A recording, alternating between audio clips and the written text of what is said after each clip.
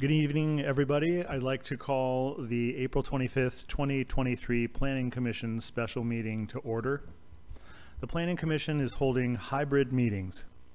Members of the public can attend the meeting in person or observe the meeting on Zoom online by visiting www.cityofarcata.org and following the live meetings link at the bottom of the city's homepage or on the city's YouTube channel. If you are attending remotely, please be aware that the Zoom feed provides the closest to real-time stream. If you rely on the other feeds and you wish to make comments, please be aware of the time lag on those feeds. The first item on our agenda is the land acknowledgement. The City of Arcata acknowledges that the lands we are located on are the unceded ancestral lands of the Wiyot tribe.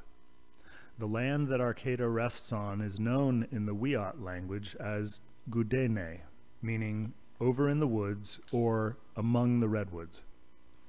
Past actions by local, state, and federal governments removed the Wiyot and other indigenous peoples from the land and threatened to destroy their cultural practices.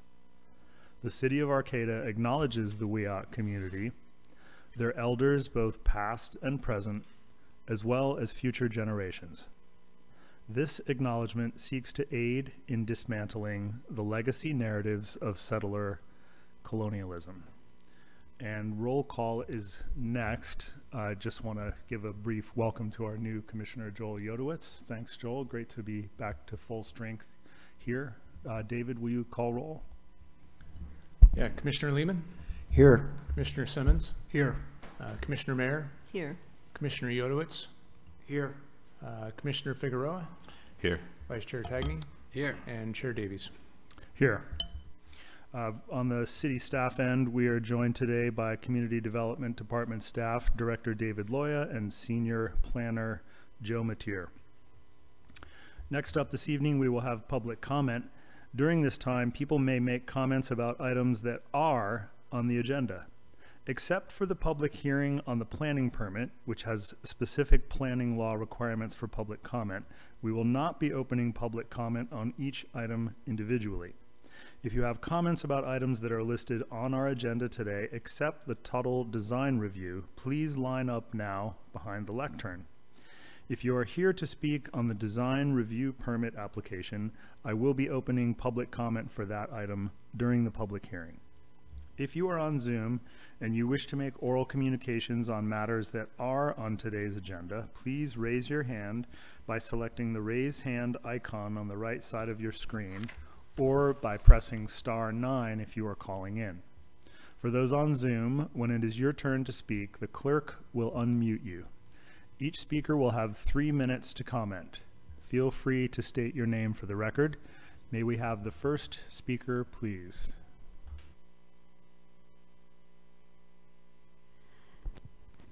Good evening. My name is Joanne McGarry, and um, it's good to see you all. I totally appreciate your dedication to this cause uh, of our community. Um, I uh, walk here often, and um, three times now in a crosswalk, I almost got hit by a car. So as we discuss uh, general plan concepts in the future, and to be honest with you, I don't know specifically what on the general plan you're talking about today, but we've got to um, make this a less car focused community in whatever way possible. You can do that so that we all can safely enjoy this town. And also about buses. I was able to take a bus up to an Earth Day celebration in McKinleyville, but I was not able to get back on a bus because they don't run late enough. Um, and so we've got some really significant issues to make our town better. And um, thank you. Thank you for your comments, Joanne.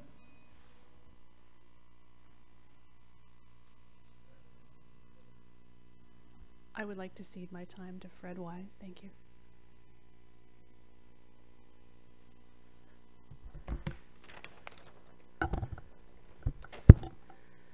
Thank you. Um, one thing I'll mention as a small aside, uh, the um, Marin County form-based code was given to us as a example in the packet. Uh, recently, the after an eight-hour meeting, the planning commissioners would not approve the housing element, voted down six to one. The supervisors overrode that at I think what was a seven-hour meeting. So we're fortunate here to have three-hour meetings, um, and a, and a lack of that level of contention. Uh, on Saturday, I mentioned the three uh, aspects of product and perception and process. Um, one thing that concerns me in the infrastructure element of the general plan is that we're required to talk about fire protection, police, schools, or parks, but you actually don't give direction in these things. Uh, the Gateway Plan is defined as creating perhaps 500 apartment units, maybe 3,500. It's a huge range. Uh, Director Loy has told you that 3,500 is mathematically possible. I believe it's mathematically impossible. So why even talk about it? Uh, as we've seen in the last couple months, uh, with the university getting their 300 motel rooms, talk of a barge hotel, if 500 apartments were to sprout up suddenly, automatically, they'd be filled more or less instantly. But who is going to tell the police, fire, people run the parks, the plan, these things, that there's going to be a thousand or two thousand people here? How's that going to happen? In parks, uh, we know where Stewart School Park is. That's a, a walking distance. All the other parks are a little difficult, especially for children, to get to. I propose that the city employ one of their staff, or perhaps um, uh, Mark Andre. I haven't asked him to uh, write a grant, raise a million dollars, and buy a block and make it a park. It would make a huge difference in the success of the Gateway Plan. Now, in terms of uh, process and perception, uh, we have um, the uh, schedule, a timeline from this packet. There's no date on it. I'd like to see a date on that so we know whether it's updated or recent or not. And on a much larger issue, um, at your Saturday meeting, uh, at, towards the end of the meeting, as you know, uh, you brought up the idea of providing a time for people to come and speak about uh, rezoning issues. Uh, it was a three-minute conversation. Uh, you can watch it on YouTube or read the transcription. It's very clear what you said. It went very quickly because you all agreed that it's going to be on the Thursday meeting. But the Thursday meeting agenda right now does not include that. Commissioner Simmons said it should go first. It's not first. It's not there. On Monday, uh, we got a e-notification, went out to the city. Uh, it didn't mention rezoning. It mentions uh, a euphemism of land use map amendment. I think this is a huge disservice to the public. Uh, when I say huge, I mean huge. I wrote to uh, city manager, community development director, and yourselves, the mayor and vice mayor, about this on Monday. Without proper notification, who's going to come? What's going to happen? Now, you've gotten emails, of course, and you know, you know the disputed parcels. It's not new. But still, uh, this is really contrary to what we're trying to do here both in terms of the process and in terms of what it conveys to the public. I think every day someone reaches out to me and says, what's going on here? How do I fit in? What do I say? And I tell them to get involved immediately, you know? But when this kind of e-notification goes out, uh, let me look up the title here. It, yeah, the euphemism is the commission will consider the draft land use map amendments. I think any member of the public who doesn't know what that means is not going to think it's about rezoning. The, um, my question is, are we going to talk about rezoning on Thursday? Is it going to be in the agenda? And is another e-notification going to go out? Um, I hate to be so harsh about this stuff, but this is really different from what you've been promoting. You know, you, you, you, in, in, in recent months, you've been a cohesive group working on getting things done. This is not that. Thanks. Thanks for your comments, Fred.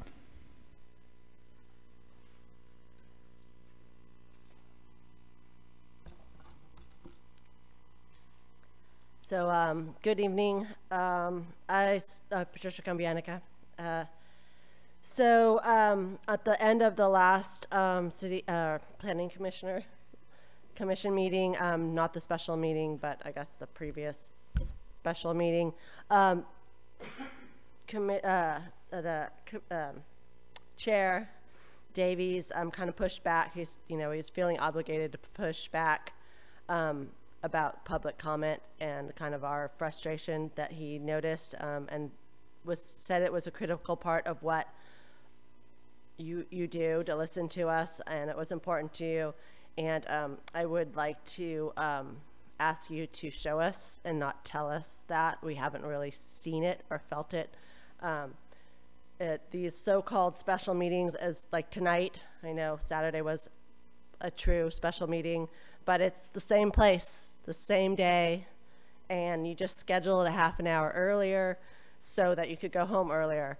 And um, I and it, what it does is it eliminates um, the community being able to talk uh, with each business item after each business item before they go to a vote. And um, so that's one way we're kind of feeling left out. Um, we're not able to discuss anything um, at the end of every business item. Um, another one is, you know, in the agendas uh, and the minutes from the previous, um, there's no summary of what the community has said. It's going to action minutes. So I think there's just a tally of who spoke, but not in, there's not even a mention of what they spoke about. Um, we heard that there was a desire for more diversity to come into the city. The city has done nothing to bring in more diversity um, and of voices. Um, they've done like a token, like I think there was one, and they had, you know, they had one person that spoke Spanish, and that's all I really know of.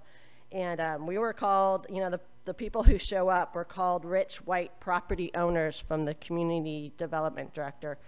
Um, so it, that doesn't really encourage people to come. The city has done um, almost, you know, they had the two-day open house and they didn't compile any of that information. It's two days the, the, the community came out. None of that was compiled. They overwhelmingly asked for three to four stories to stop and that be the, our limit.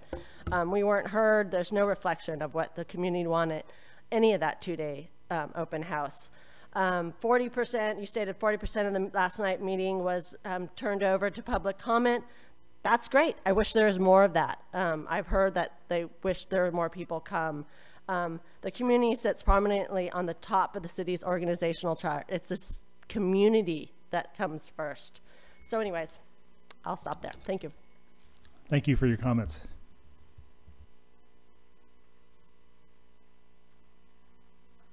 Hello to staff and commissioners. Um, James Becker. I believe tonight it sounds like, but we just never know until things get started, that eventually you'll be making recommendations on circulation and also on solar shadowing.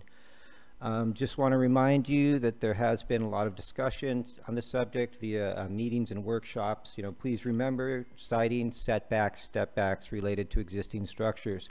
This will allow to maximize solar panel exposure and there has been discussion also about microgrids. I just want to let you know that our Devlin Cottage will be involved in both of those. And, you know, I would really just like to see that, you know, I mean, in, in the big picture, you know, we are trying to, um, you know, incorporate all those things, and that's what we've been sold on. Um, you know, and then just revisiting L Street, um, going back to my notes, I'm just getting a little tired of writing new things. Um, I just want you to remember that if you, you know, as far as what's being offered here with L Street is the claim that it's going to be, the park would be accommodated by, uh, you know, allowing for uh, easements being uh, offered out by the new developments. And, you know, that's just purely if it happens and you're trading off existing unspoiled corridor for the possibility of privately owned public spaces. And I don't really think that's acceptable. I would recommend that these spaces could be further enhance the existing park if they do happen. Um, and then the detriment of not preserving the existing right-of-ways is further, further exacerbated by Gateway Policy GA7I, no net loss of Class 1 trail system in general of the total current linear footage, footage of the Class 1 trails in the plan area, even if the current facilities are, must be realigned and relocated to other areas within the route. If implementing the realignment of the roadways impacts the existing Class 1 trail, rails trail facility within the L Street right-of-way, design and construct a new trail in another location within the plan area. If implementing the realignment of the roadway impacts the existing Class 1 trail, rails to trail facility within the L Street right-of-way, design and construct a new Class 1 trail in another location. Um, in limited circumstances, the city may retain the discretion to allow applicants to demonstrate removal or relocation of the trail sections and would improve the active transportation or active conductivity, access con- conductivity. I know that's obviously going to be purely subjective, which is, I mean, things that we're trying to avoid here, right? This is supposed to be objective standards.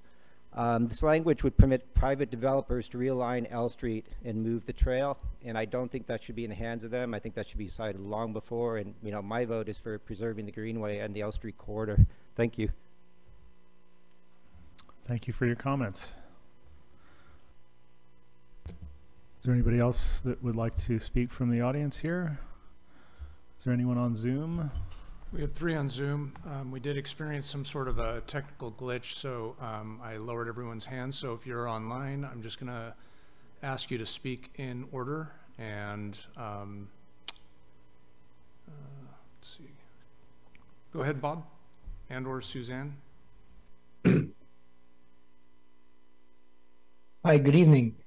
Uh, let's see, is our camera supposed to be on? I guess not.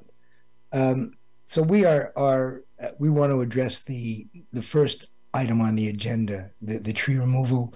We, we are the closest neighbors to uh, Andrew Tuttle's project, uh, which we wholeheartedly support. So- So Bob, Bob, I'm sorry. There's going to be an opportunity to speak on the project in just a moment.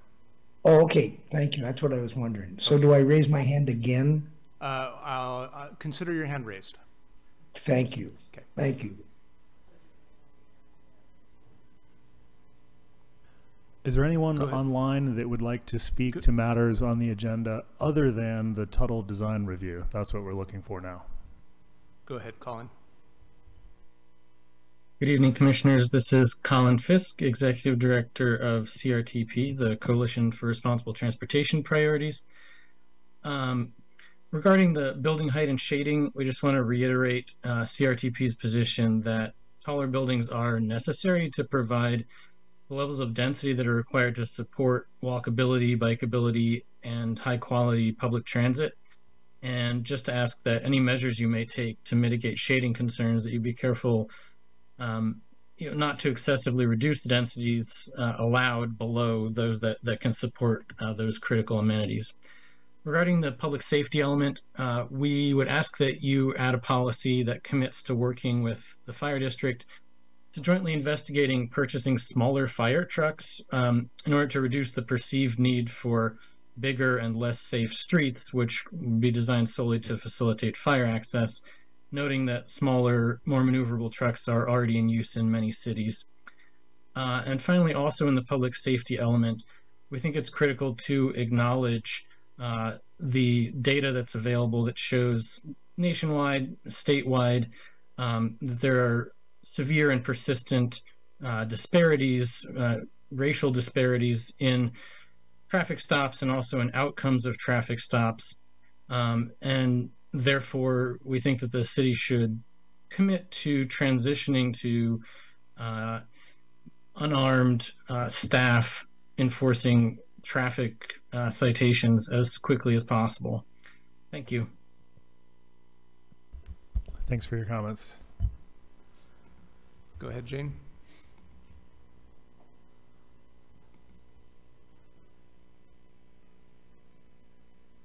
Oop, Sorry, go ahead, Jane.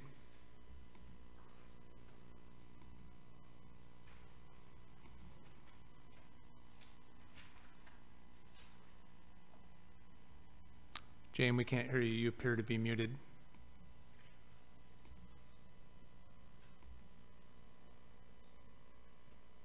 Okay, I'll try again. We can hear you now. Okay, thank you. Uh, this is Jane Woodward, and I want to thank you for managing to try to absorb and respond to all the policies proposed both in the Gateway Plan and the overall general plan and the land use element. It's a prodigious task, including for the public, by the way. Uh, I'm going to hit a number of topics because you may be dealing with a number of topics. I want to remind you that staff have not yet laid out a plan for L Street as a linear park so that the Commission and City Council can actually consider it as an alternative to a one-way L Street. I suggest it would be useful to incorporate the KL Street couplet as an implementation measure rather than as a goal and not to anticipate that it will take 30 years to occur. Staff, city staff appear to want to be able to take action now. Two, I want to remind you that you have not yet scheduled a meeting to discuss the implications of sea level rise for intensive residential building in the coastal zone and the gateway area subject to sea level rise, and the legal and financial implications of failing to take sea level rise properly into account. Three, more importantly, you will be discussing the infrastructure and public facilities and public safety elements tonight that include policies on fire hazards, potential flooding hazards, and seismic hazards, all of which are addressed in very general terms. Since the city claims to have specific information based on studies, it would be useful for the Planning Commission to request that staff provide specific information for how these issues are applicable to the Gateway area. For example, what are what, where are the faults? Are the soils there vulnerable to liquefaction? When will sea level rise affect areas north of Samoa Boulevard? Is the new gateway zoning code going to require builders to elevate their structures in anticipation of flooding issues? Has the city planned for moving the wastewater treat, waste treatment plant and associated infrastructure, and if so, to what possible locations? And what is actually being done for fire safety. Who's going to pay to protect the planned mid-level story buildings? What's the, what's the status of discussions with Cal Poly Humboldt? In terms of climate adaptation, what is the city actually doing? What's the status of Arcata's climate action plan? These are just a few of the questions I'd like city staff and the Planning Commission to address. For more information, the more information you have, the better decisions you can make. I hope you can take the time to adequately address these issues and put them in the bike rack so that you do, do get to them. Thank you for your consideration and all your work. This is tough. Thanks for your comments, Jane.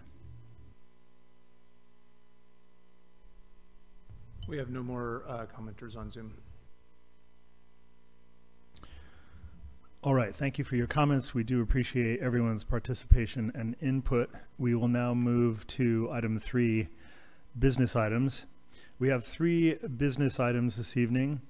Uh, the first business item is to approve design review and tree removal permit for Tuttle Residential Development on vacant property located on Union Street between 12th and 13th Streets file number 222034-DRTRP.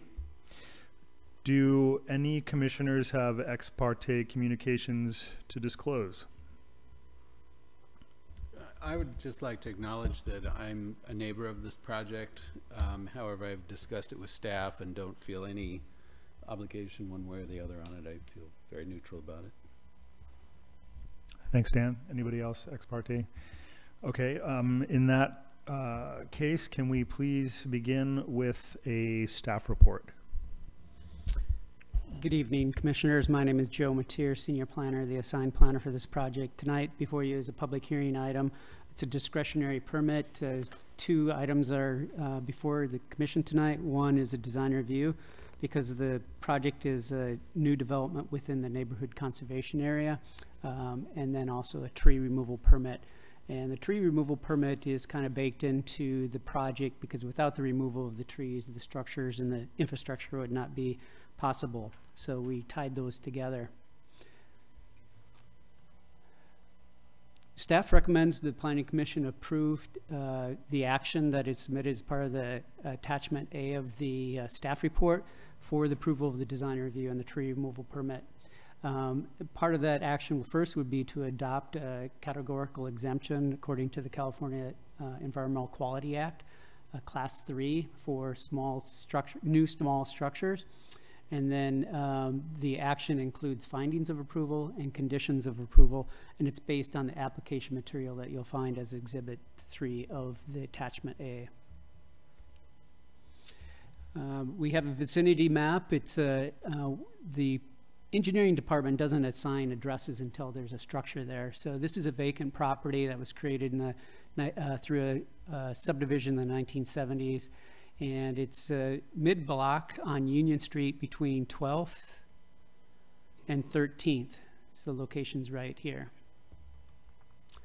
This is a, uh, another view of it here. It has a couple of uh, uh, constraints on the site. There is an 11-foot uh, slope easement right along the frontage of Union Street.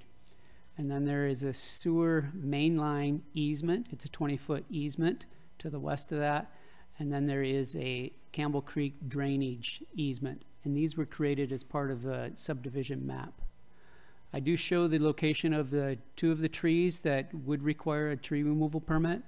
Uh, essentially, trees over the uh, diameter of 16 inches require a tree removal permit. There's a couple other trees that are smaller than that that don't necessarily require a tree removal permit, but I did show those as well as a possibility of being removed as part of this action. Here's a close-up of where the development uh, area would be on the site. So uh, this is Union Street to the to the right. Um, it's about 11,000, just over 11,000 square foot parcel. As I mentioned, there's quite a bit of encumbrances or constraints on the property. Uh, so the development would be uh, located outside the slope easement, but then in the developable area outside the sewer easement and the uh, Campbell Creek drainage easement. It's about a 2,900 square foot structure. Habitable space is about 2,200 square feet. It does include a single family residence with a attached uh, accessory dwelling unit and an attached garage. Um, there is the, um, a little bit of a drop off as it slopes kind of to the west southwest of the property. To maintain grade, there will be some fill added to the frontage area of that to have uh, nice access off of Union Street. Here's a picture of some of the elevations. It's the east elevation, the top from uh, Union Street as you look at it. So you have the uh, two-car garage here. It almost appears as a single-story residence from this elevation here. Um, and then as you see from the south elevation, it is kind of a tiered two-story with a um, accessory dwelling unit on the lower level and living quarters on the upper portion of it. There are some architectural features that are uh, um, compatible with that Bayview neighborhood area. We have, uh, it does have the metal roof, which is a little more modern um, material used, but then the window designs and the, the knee braces and the brackets and the type of doors and stuff like that, it does make a nice, uh, almost craftsman style uh, development. There'll be wood siding, uh, shake wood siding on the, the structure itself. And then we have uh, the view from the west. That would be if you were at Campbell Creek and looking to the east, would be this structure here. And then from the uh, north elevation here.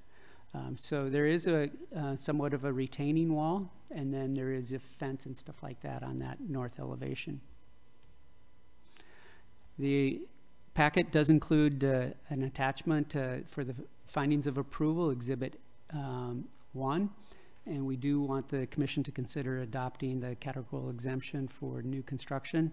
It would include the um, removal of those trees as well. Um, and then the does have the findings for design review in the neighborhood uh, conservation area as well as the tree removal permit compliance. Typically, um, if this was a developed parcel and they were going to remove four trees or less in a 10-year period that are over 16 inches in diameter, this would be reviewed as a ministerial permit. There would be no public hearing on this item. So it is a little unique, um, and that's why we tied the conditions of approval and the findings of approval to the submittal of a building permit. We don't want speculation where the trees are removed and we don't have any investment in that uh, potential development of that site. So that's why that condition of approval is um, um, managed that way. Um, conditions of approval, uh, we have the sewer line connection. If they use gravity feed from the, the proposed residence, the city engineer would like to have, uh, make sure they take a look at those uh, details of the uh, attachment to that and then have a site inspection. Um, the driveway surface on the application, you'll see that it does have pervious pavers. Uh, we just want them to be installed to the um, manufacturer specifications and use material that is designed for that purpose. We've had uh, a project once that used chimney brick that was used for a paving surface, and they're really not designed for that intensity there. And then I mentioned some of the uh, uh, tree removal conditions of approval. One would be that it's uh, not conducted until after a full application for a building permit is submitted. Um, Typically, we do on-site bird survey to ensure that there are no impacts from that activity to any nesting or roosting birds. And then also any of the fouling of that tree, that it does not impact that uh, on-site uh, sewer main. Um, Other than that, the staff um, has that recommendation in the staff report, and I'll be happy to answer any questions. I do know that the uh, applicant, property owner is available, and their agent, the architect that did the design. Uh, Staff received one public comment, and it was a letter of support, or an email of support for the project. Thank you. Great. Thanks for that staff report, Joe. Do any commissioners have any questions or comments before I open public comment?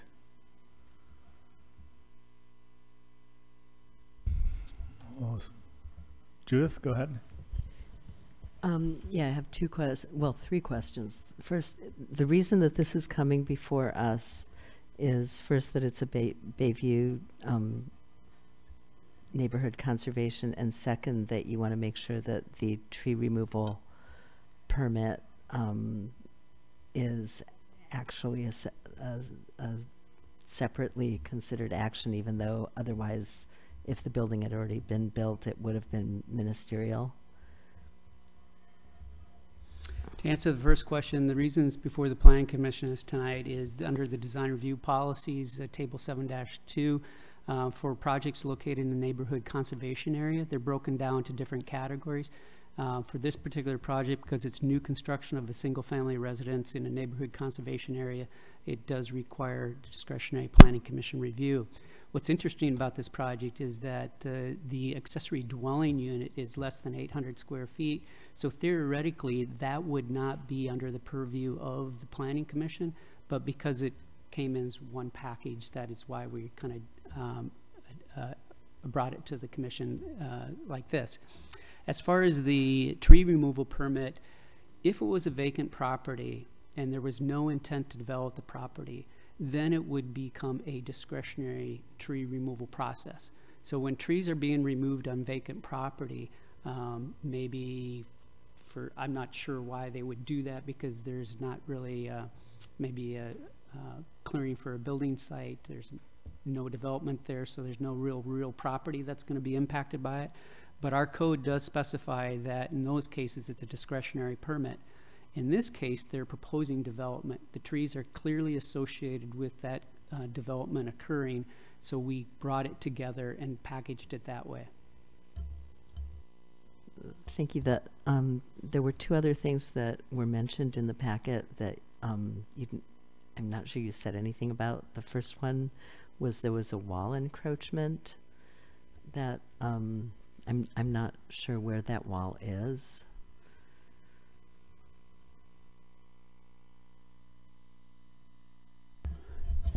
Yes, the, actually, the applicant owns the property to the south, and it is a small retaining wall on the south property line, and I believe it has to do with some of the parking turning radius on the adjacent parcel that the property owner owns.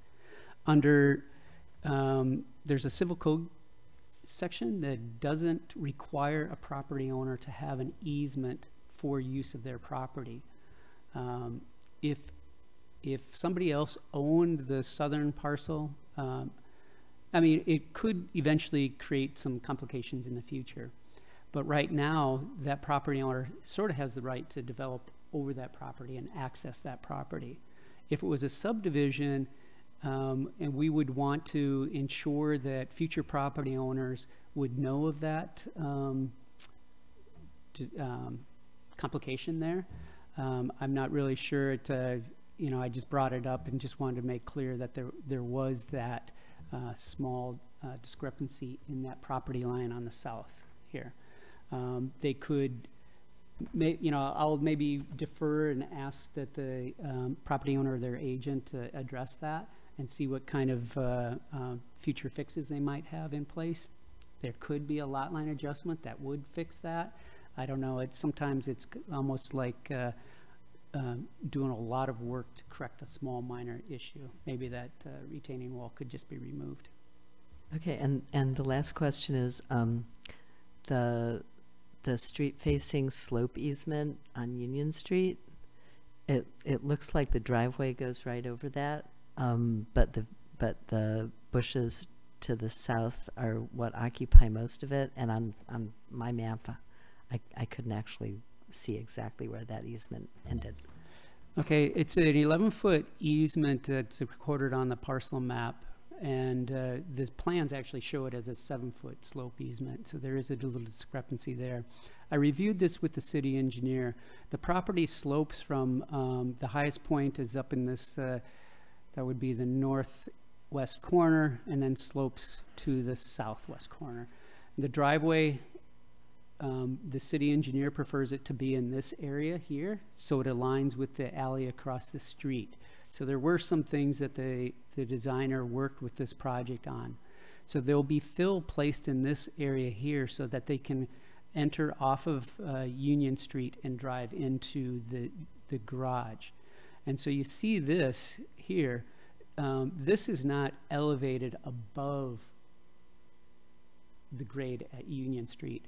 Um, so it is a little bit of a, um, um, basically from Union, they're almost going to drive straight into here, um, if that makes sense. This is a better view of it here. Uh, well, not necessarily, but uh, um,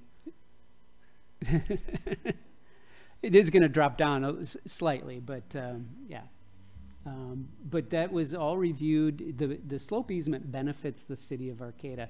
So if there is any en- engineered fill going in here, you know, that would be reviewed, um, part of the encroachment permit and the building permit for the development. Okay, thank you. Go ahead, Joel. Yeah, I have a question. Uh, if- Unless I'm mistaken, the, the drawings show uh, solar panels on the roof, is that? I thought I saw a photo, maybe I'm misinterpreting, photovol, Yes, on the uh, south elevation, there are some panels here. Okay. Yes, sir. I, my, my question is, is that, is the city, is that a city requirement, or is that something the property owners is doing on their own? Um, I believe it's tied to state building code. Um, and so that, so the building department would implement that through the building permit review. Thank you. Any other uh, questions from commissioners? If not, then, um, as we, uh, per usual, I will invite the applicant and/or their agent to speak first. Uh, we will then open for public comment, and that will be limited to three minutes per speaker. And the applicant will have the opportunity to speak last if they wish. Go ahead. Thank you.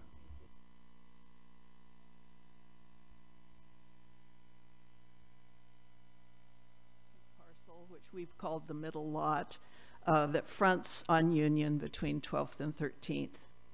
My primary residence for the past 45 years has been the house next door on the corner of 12th and Union.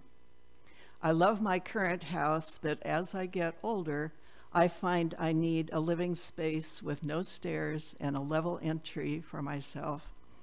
And so that was really the driving design consideration um, uh, that's reflected in the floor plan and the driveway entrance. Since the slope of the parcel allows for a downstairs unit, we've included one which meets the code requirements for an ADU. Campbell Creek flows out of the community forest and forms the backyard of all three parcels that face Union. We've been particularly mindful of the riparian zone, and we've provided for wide setbacks, including the sewer easement, and we will avoid any disturbance to the creek. I'd like to introduce my outstanding architect for the project, Martha Jane. Um, Martha lives in Arcata and has experience in designing many projects in Arcata and Eureka, both residential and commercial, including a residence in this same Bayview neighborhood. So she brings um, an understanding and a feeling for the neighborhood, the massing, the, uh, the structural styles um, uh, in this for this uh, conservation district. As you can see, Martha has prepared a very comprehensive set of plans with a lot of information in them uh, and images. So I don't have any particular new information to offer you now, but Martha and I are, are here to answer any questions that you have. But before I close, I'd really like to thank and compliment Joe Mateer, who's been very helpful and responsive and has written a comprehensive staff report. I also want to thank the rest of the city's staff who were involved in the pre-application process. This is a very helpful part of your, of your um, requirements your, for applicants um, in flagging items of particular importance. So I want to thank Public Works and Environmental Services and your reviewers on the fire and the sewer and the drainage and other provisions who commented on this during the, during the development. They've all been very helpful, and so I want to compliment them too. So with that, thank you for your time and your review, um, and we're here to answer questions. I don't know if I should respond to some of those that Commissioner Mayer raised now or later. Uh, if you'd like to, or if um, the architect would like to speak to those, whichever is Let fine. me just um, quickly respond to this little jog of retaining wall from my house. It's, um, yes, we built a retaining wall for the parking, for the driveway entrance and a parking spot. And we didn't know exactly where the property line was at the time, but we owned a both and they were just open space. And so for a short distance, it does encroach on the other parcel. If, when the time comes that these need to be, um, that situation needs to be fixed, it's easy to remove that retaining wall and just grade it through.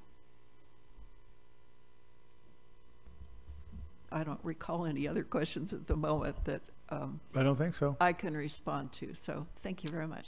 Thanks very much for that. Anything to add? If not, that's fine, but if so, now's your chance.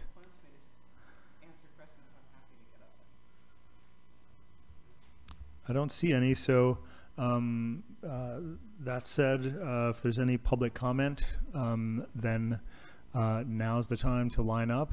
I know we do have at least one speaker online, but if anyone here uh, at City Hall would like to speak to this project, David, um, someone online, or did did you want to speak? Please come up to the lectern. While we're waiting for that, Bob, if you could raise your hand again, the um, attendees disappeared on my Zoom screen again. Thank you. So I'm Latif Burdick. I live on uh, the corner of 11th and A. So I have a bird's eye view of Andrea's existing house, and uh, I'm really glad to see the plans because I, I think they do a great job of architecturally fitting in the neighborhood. You know, I've been a builder myself for 35 years, and I did all the design work for most of my projects, and mostly in Arcata and the county. And uh, I love our neighborhood. I've been there for 40 years myself, and I, I see no problems with this. I, yeah, I, I trust the design. I trust the the owner uh, that they're going to do a, a, a right right forward job. Thank you very much. Go ahead, Bob. Great, thank you. Hi. Um, so when you look at those those uh, pictures, our house is the one just above it. So we're we're on the corner of 13th and Union. So we'll we will be the closest neighbor, uh, and so we've gone over these plans with with Andrea. She's been very helpful in in in listening to our concerns, uh, and we are completely in support of of this project. Um, and we, I'm not sure if this is the actually the right venue, but we thought that it might be a good good opportunity to raise the the the issue of uh, traffic on the street, uh, on on Union Street, because it's a heavily trafficked street uh, with no um, nothing in place that could help to calm traffic. Uh, so if I'm not sure if that's in your uh, wheelhouse, but it's something that we're very interested in in somehow combining with this project, if if that were possible, or we just take this idea to to some other group, uh, and we would be uh, interested in your suggestions as to who to go to. Thank you for your Yeah, comments. okay, Yeah. And Bob, I would say um, you could reach out to our city engineering team um, and ask for Netra Khatri, our, our city engineer. Thank you. Thank you. Okay, thank you. Any other commenters? Yes, uh, go ahead, Jane. Hi, Jane Woodward. I'm delighted to see this project happening. I think this is the kind of project we want. It's got solar panels, it's got the new metal roofing to which the panels adhere and the roofing is long lasting. Um, it has an accessory dwelling unit, which we're also promoting, which allows for additional uh, units to be available. Um, I think she's done a great job of fitting this in in an area that needs to be preserved on the west side of the property. So I thank you, Andrea Tuttle, for doing this. Thanks for your comments, Jane. That's all. All right. Thanks to everyone who commented either here in person or online. Um, are there any additional questions for staff or do commissioners have any thoughts or comments they'd like to share? Oh, I would just like to say that I think it's a fabulous uh, project. Everybody seems to be in agreement um, and fits in very well with the environment and the neighborhood. And if you're ready for a motion, I'd be happy to give one. I am ready for a motion.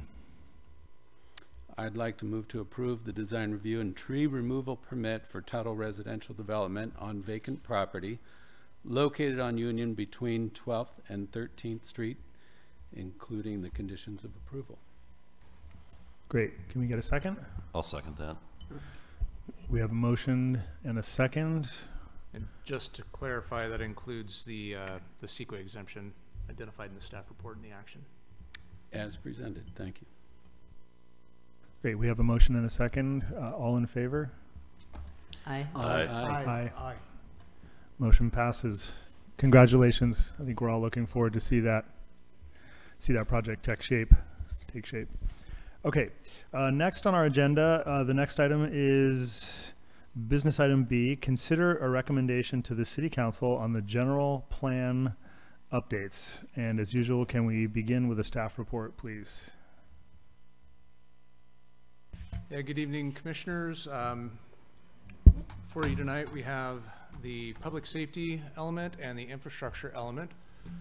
Um, And as our uh, process uh, has been developed, or as we've developed our process, I've got the, uh, I've got your comments here compiled for uh, public facilities. I would suggest we begin there. Um, Hold on a second.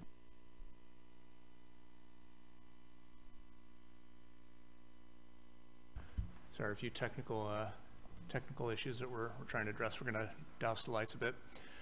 Um, so we've got uh, first on your list the consent calendar considerations. Um, we did compile these, send them out, and publish them online, put them in the binder uh, as per usual. So um, I'll go ahead and leave it there for the chair to take over and facilitate us going through these items.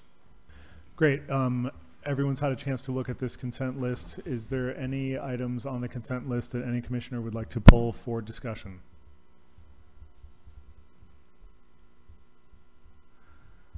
If not, is anyone opposed to approving these consent items in one shot?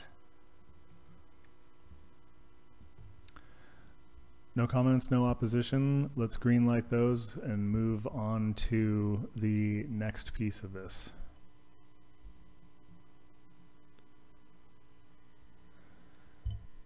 into the policy pitch section. Um, as these items come up, whoever has made the policy pitch, please jump in with a brief elevator pitch regarding uh, the proposed change, and then we will uh, take it from there. Think that was probably mine. Um, and there, there were several of them in that box, um, under the guiding principles and goals. Um, the, the first one was, I think for all of these sections, the guiding principles and goals should go right after the introduction, um, and before the background material, rather than right before the policy list. Um, and I, I think staff may have, addressed that, and that hopefully is what's gonna happen. Um, is that something that you could comment on, David? The position of the guiding principles and goals?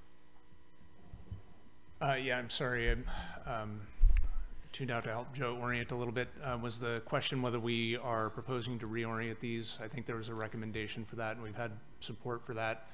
Um, staff doesn't really have a comment one way or the other whether to have the goals go before the introduction. It's, it's Okay, fine. I, I, I guess my suggestion was after an introduction to the element, that's where the guiding principles and goals should go before you get into all the very, very lengthy um, background and current conditions. So um, uh, what I've done with these suggestions is to um, suggest moving those and then adding um, to some of them. Um, so do you want, do you want me to talk about the several additions here or go one by one? Uh, let's take them piece by piece, I think. Unless you feel like they're going to hang together cohesively and not require separate discussion. Okay, um, the first one was for A, um, for the, um, water supply to add, um, a note that we want not just adequate water supply, but safe and affordable water supply and delivery systems. Um, this obviously addresses our, uh, leaping, jumping, and hopping, um, water rates in, in town, which I'm sure if we haven't all experienced them yet, we're gonna get hit pretty soon. Um, and so that seemed like, um, important language that we can't, um, just assume that infinite water rate increases are going to be sustainable.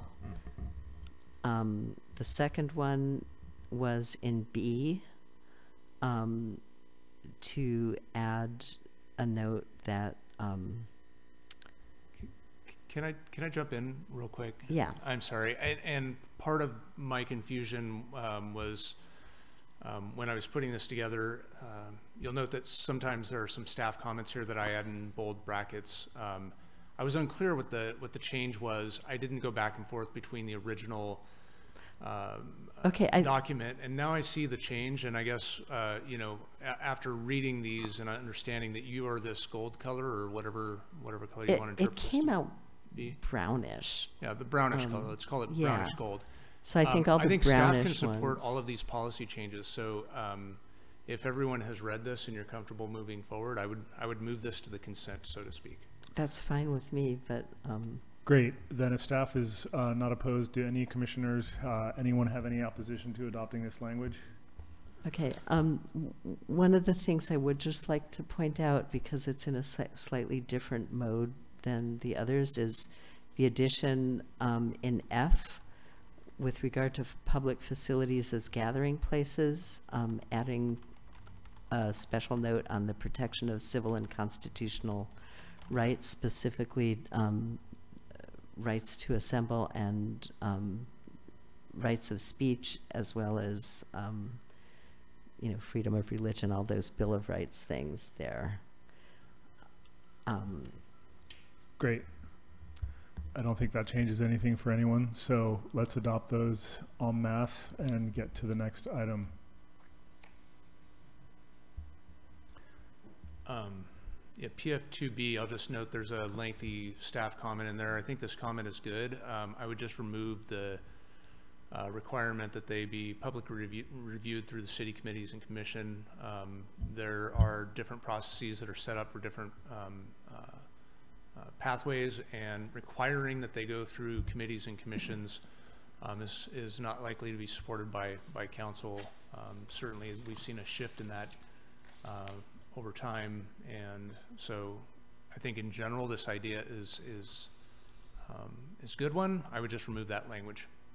Um, that's the language that I um, very explicitly wanted added, and I feel that it's extremely important, especially given some of the controversies around the wastewater treatment system and the fact that um, these are often very complex matters that the public would appreciate understanding and more to the point having a forum to weigh in on other than simply before the city council. So that is very explicitly the language that I propose to add. Uh, does anyone on the commission have an opposing view or any, any comments to add to that, given uh, staff's take? Go ahead, Matt. I'm mostly just looking for clarification. So every time there was a new planning assumption made by staff, it would come before a committee or, I- I'm just, I'm trying to understand th- how I, it th- works. I think that um, because some of the issues associated with the wastewater treatment plant aren't just, you know, routine maintenance or even, you know, fairly minor upgrades of, you know, a million or two dollars each, but humongous changes amounting to 50 million plus each, I feel that it's very important for those to be addressed not just by the city council, but by commit, committees or commissions um, where the details of those proposals can be vetted with the public. And that's certainly something that happened with um, our uh, current upgrade of 50 plus million dollars. And I really appreciated that, and I think the public did as well. Um, especially as we're looking to address concerns about um, sea level rise that may be coming up in the future, uh, we're going to have another many million dollars of additional um, work that I would hope we would not adopt lightly or without a great deal of public review. Um, the Planning Commission and our committees offer a forum to do that, and that's how we should use our public forums.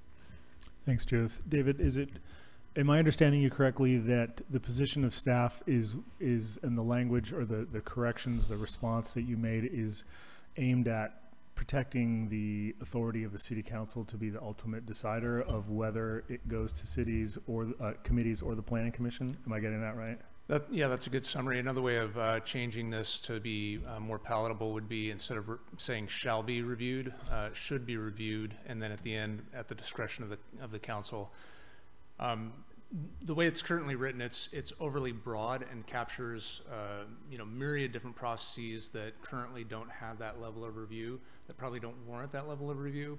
I think pointing to a wastewater treatment plant upgrade that costs fifty million dollars is uh, you know uh, you know, kind of project that certainly you want to have a lot of eyes on and, and discussion about. Uh, but this captures all kinds of changes in planning assumptions, best available science, priorities, goals that simply are just not going to go through a planning commission review process.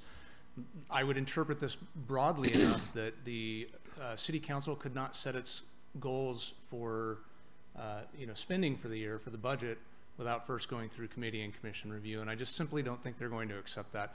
If you do want to approve this the way that it's written currently, you know, I would encourage you to go ahead and take that action. Um, but I will note that, you know, similar to the, um, uh, to the, the uh, gateway element where we've had policies that enhance or, you know, refine or, or better uh, uh, interpret the intent uh, that supports city's actions, you know, those will be placed in line. Uh, this kind of language will be placed um, in a recommendation that goes on the side, not in line in the document, uh, to identify to the council the reason why the staff uh, does not believe this is uh, in their best interest to adopt. Got it. Could you possibly um, type the language suggestion that you uh, suggested would make this uh, easier for staff to support, and then we can all look at it and see if we can get to agreement? Commissioner Mayer, how did you feel about the staff recommendation? I'm, I'm looking at it.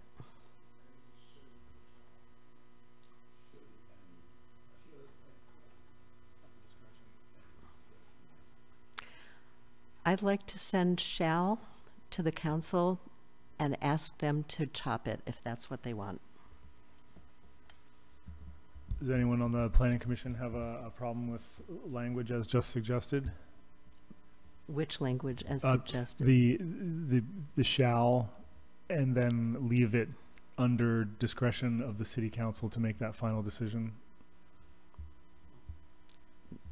I have Uh, a problem with that. I, I would like to see shall remain That- and. That's what I, I'm sorry, that's ob- what I was suggesting. that And we would obviously, keep the city shall council in- has discretion over virtual everything we do. Um, is there a dollar figure also being suggested here? I mean, I mean, I think that you're basically legislating through policy by adopting this, um, this language. And policies are intended to establish the framework for adopting legislation. Um, so I, I think that on, on those grounds alone, I would, you know, recommend against that. But I think this softens it enough to, to where it still retains the, uh, city council's authority to direct when, where, and how, under what circumstances, under what budget levels. We're not establishing that in advance. Um, we don't know what the conditions are gonna be. I trust the, uh, representatives to, to make, um, you know, good decisions related to those, so. Um, one, one thing that would make it reasonable for me to see that change, if you added to the language I suggested, um, major goals, priorities, something like that. Obviously, this, the city council has dis- discretion regardless. But I think that, um, we could trust staff to determine what a major goal, planning assumption, or other change, um, would come before the planning commission. I'd like us to kind of lock in on something here, or maybe if we're gonna need a lot more discussion about this, maybe move off of this item. Uh, Is, if we add major goals, that I think maybe gives the city council a little more latitude to define what's major or not. Um, how does the commission feel about, um, how does the commission feel, let's take a straw poll right about the language as it is right now with shall being in instead of should and the add-on at the end regarding discretion of the city council. Is everyone, is there anyone that's opposed to this language being adopted? Okay, let's adopt it as is and move on to the next item. When you say adopted as is, which language are you referring to? Uh, the, the language as it says up on the screen now, shall instead of should. Okay. And the addition of at the discretion of the city council being added to the end of the original statement. All right, could, could we see that um, writ- written as, I, I think it is, well, no, it, it, it hasn't been written. We've still got two separate statements there.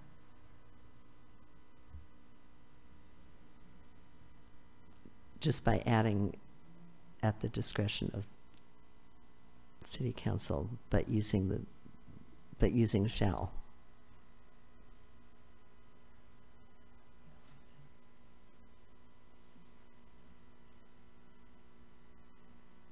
I'm uh, sorry to be so sticky about this, but we've had several instances where it wasn't really clear what we were agreeing on, and, and this time I'd like to make, make it quite clear. I understand. I feel like everyone here understands what you're getting at. I feel like this language gets us there and, Okay, that, that has it now. okay, Good, thank you. great. Can we get to the next item on our policy pitch list? Yeah, this is my item, and uh, when I read this, uh, it just seemed to me that uh, preserving, I mean, it reads in, uh, that uh, we would preserve established community student ratios. And in light of the fact that Cal Poly is expecting to double their student population by the end of this decade, I don't, I don't think we can uh, preserve established community student ratios. I think the, you know, there'll be more students and not that many more community members. So um, it, it's just, do, do we want to say this or do we just want to eliminate it? I'm, I, I think I, I get your, your basic point. There's no way we can guarantee that however things flex, that the existing ratios stay the same. Um, delete it, and then what would it look like?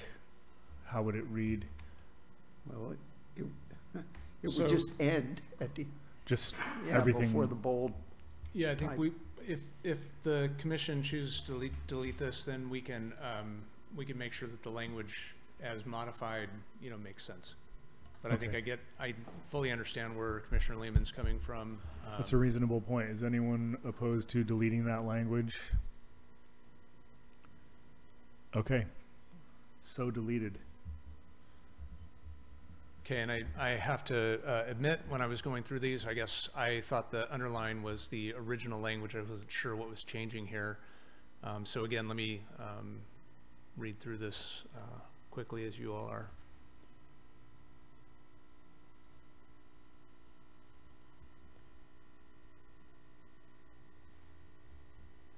Um, I think that was probably mine. Yes, it was. And I think that this language is fine, or something, you know, something similar to this. Um, I, I understand the, the intent of where you're going here. So staff doesn't have any concerns with this. I originally, the only reason I moved this into the policy pitch and not into the um, consent items is because I wasn't sure where the changes were being made. Um, Got it. Does anyone have any concerns with this item or need to discuss it further? Um, I would like to change, um, it should be receiving waters of the state, not California. So just to be waters of the state and waters of the US. So it's in receiving waters, yeah. So it should be receiving waters of the state. Um, I, I guess the reason I, I said the waters of the US, I can't even read how little it's yeah, written that's, here. that's appropriate, yeah. Um, yeah. is, is that the Clean Water Act does address waters of the Yeah, United States, and so, um, it, that also Mhm. gets at some of the, um, other ways in which we use waters of the United States and Yeah, it's the federal and the state nexus, yeah. Yeah, and it also, it also allows us to address, um, some wetlands issues and stuff like that. hmm So, yeah, I was gonna say that, and then, um, it should be compliance with the state water, um, quality control board, not regional, California Regional Water Quality Control Board, it's the state water board. Um, Seem like good catches. and again, uh, NPDES permit, it's, I think it's a state board, State Water Quality Control Board standards in regard to the NPDES, and I don't know if you want, if we want to do permit, permit. I think we can just eliminate the added, per- what do you, what what was the Yeah, we- purpose behind we- permit after permit? Yeah, permit? again, we don't have to finesse the language in this form. When we go through and clean this up, we'll, we'll revise all Yeah, that. Cool. As, as long as we're I think locked if- in on policy level stuff, we don't have to worry Yeah. so much about. Yeah, uh, yeah, so we'll, we'll editorial make these, we'll make these updates. Cool. um, Well, I don't, I don't know, I don't know if you guys, yeah, Those, well, those are good If ads. everyone wants to. yeah. Does, Cool. does anyone have any qualms with adopting as proposed? Thanks for those additions, Nope. Christian. Good to go, yeah. Okay, let's, uh, green light that and move forward.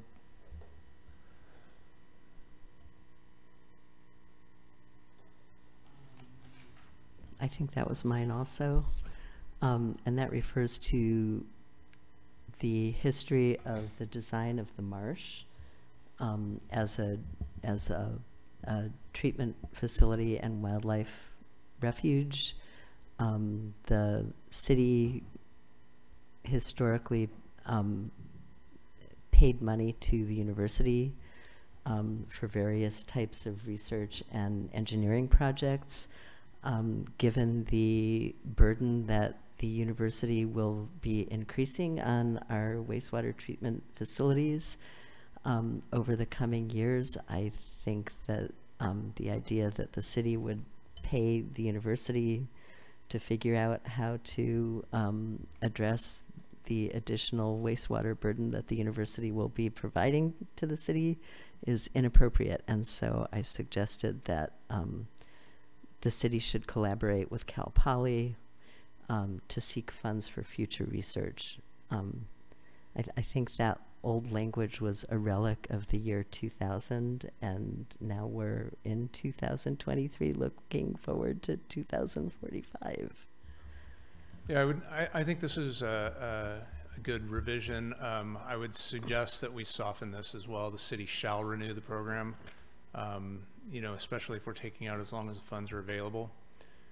Um, that we soften this to the city should, you know, continue the program where So- appropriate or something like that. Yeah, should should is better.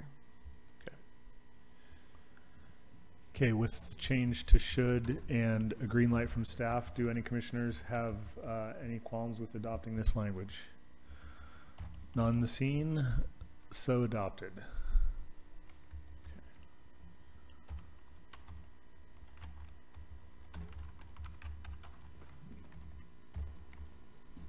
Go ahead, Peter. Uh, Let me just make a comment. Um, The, the university's research um, coordinator has been Bob Gearheart all this time, and he's getting older. And um, I don't know how much longer he's going to do it, and he does it out of the goodness of his heart.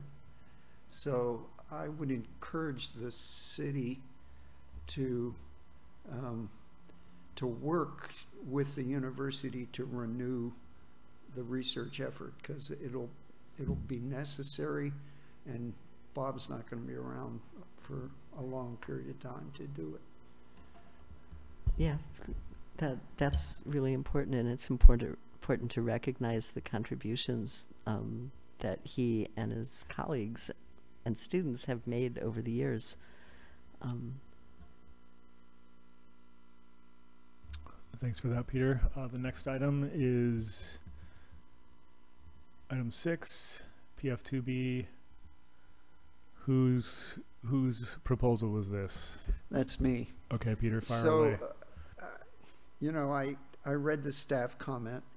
Um, my understanding from the, uh, the session we had with, um, uh, the local engineers and, um, the state, en- uh, the state personnel was that despite the fact that a one meter rise by 2050 is unlikely, um, that the state was urging us as planners to plan for it, even though it's pretty unlikely. I, as I remember, it was a half a percent chance, one in 200 chance.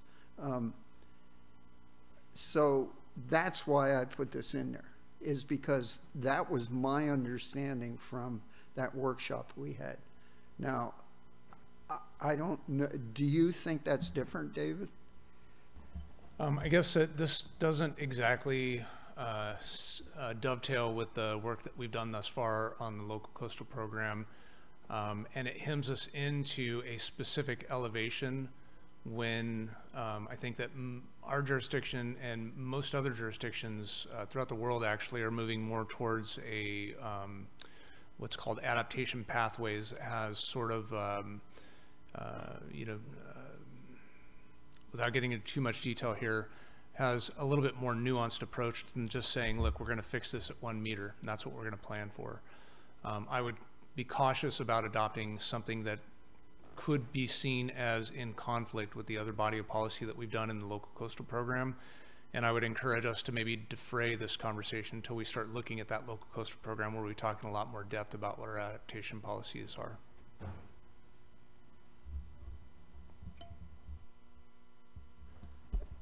That's o, it's okay with me to do that. Um,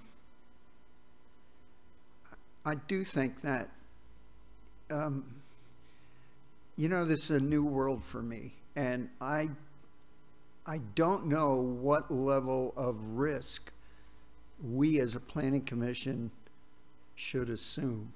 And th- this is a pretty cautious approach on one in 200 chance, but um, I, I just, I'm not sure what the right thing to do is. I- think you're right. I don't think any of us know what the right answer is or what the right balance of the housing crisis on the one hand is and the concerns about sea level rise are on the other. I, I think we could probably do something to incorporate language that would maybe drive the adap- adaptation pathways to acknowledge the likelihood of a one meter sea rise or something like that. But I also think when we are discussing the local coastal program, we'll be in the context of more uh, more details around specifically this. If you're okay with it, we can um, bike rack this and bring it back more actively when we get to the LCP. Is that okay? Is that jive with staff? Yeah, you could bike rack it. The idea behind bike racking items is that you're gonna get back to them through this process. The local coastal program is on a different track, but if you wanna bike rack it to the LCP, that would be something different. I just wanna be clear about that. Yeah, I just mean, um, and maybe bike rack's not the right place or term, but I want to I want to keep this as something that we're going to discuss, but with the specific intention of discussing it in the context of the local coastal program, and we get to it. Did, did anyone else here, um, hear what I heard at that workshop? I This- mean, am- tell me if I'm nuts. I heard a different number for critical infrastructure. I heard a, a, a larger or a, a higher elevation than one meter. So, and what we should be considering. So, but I'm gonna leave it to the director and, and to planning staff to to massage that within our plan. Is anybody, uh, Judith, go ahead. Yeah, um, when, when we were discussing the local coastal program before, we put it aside in order to start on this stuff. One, one of the big issues was, are we going to talk about, um, benchmarks that would trigger particular types of action? And then are we gonna attach dates to those benchmarks? Um, and we never resolved that we heard what staff was recommending. Um, but if we can make sure that this um, very specific thing comes into our discussion of the local coastal program, um, that that would really help because staff's recommendation was basically that that we put particular signals into the program to take particular types of action, but not attach dates to them and um, we never resolved that.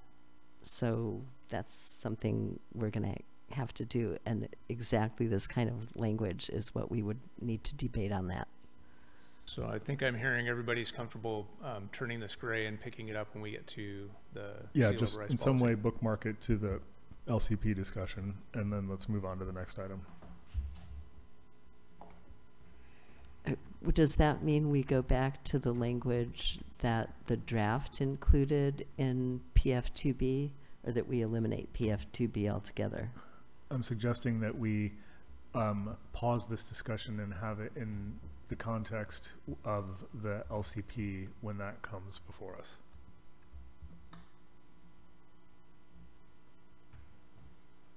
Oh, The question, I guess the, the elephant in the room is when are we expecting to see and when are we expecting to discuss the LCP? Um, The LCP should be, you know, coming up sometime later this year. We'll be taking a- another look at it. Uh, The commission has already reviewed a lot of the policy work. Uh, We're working on a uh, coastal grant right now, coastal commission grant to do the uh, balance of the, um, uh, the zoning for it. And so I think you'll start seeing that uh, later this year, early next year, with an anticipated adoption date in 2025 at this point. Well, that sounds a little problematic. I, I don't know. Well, um, 20, 20, I would offer that 2050 is much farther out than 2025. So Totally, we have time but in work on respects, in respects to, to graying it and discussing it with the LCP, that, you know what I mean, in regards of what we just consented on. Okay, well, I'm going to So- suggest we bike rack it one way or the other because the, Yeah, if it the point is the- to try and get I through the policies tonight. Yep. We are not going to get through this tonight. It's a very Right. data-rich uh, discussion, so. Yeah, let's, let's bike rack it, and if we, if we end up, um, uh, getting through the bike rack before the LCP comes back, then we can take another crack at it. Um, But, uh, I don't think we're gonna get through it tonight, so I'd like to keep the discussion moving forward. So this is the existing 2F, uh, 2, uh, PF2B rather.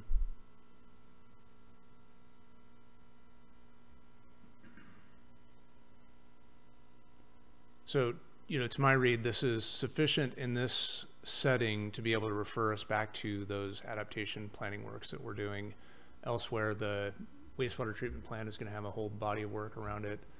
Um, the uh, local coastal program already has a whole body of work around it and will continue to. And then we've got uh, upcoming adaptation planning work that environmental services is taking the lead on. So there's a lot of that coming in the, in the near future. And the LCP is a coordinated effort with other governmental agencies around the bay, correct? Uh, So it- correct, It's yeah. not just Arcata that's working. The. LCP is just specifically Arcata, but we are working collaboratively regionally. Okay, uh, next item then? Let's see, I'm gonna change the color on this. I, I made this a different color so that we could identify that this was not in, whoops. This was not in your packet. Uh, this was language that, uh, came, uh, in, I believe, Commissioner Mayer's, uh, recommendations, and I was waiting to get some input from others on it, and I inadvertently, uh, left it out of this, this packet here. So, you have not seen this yet.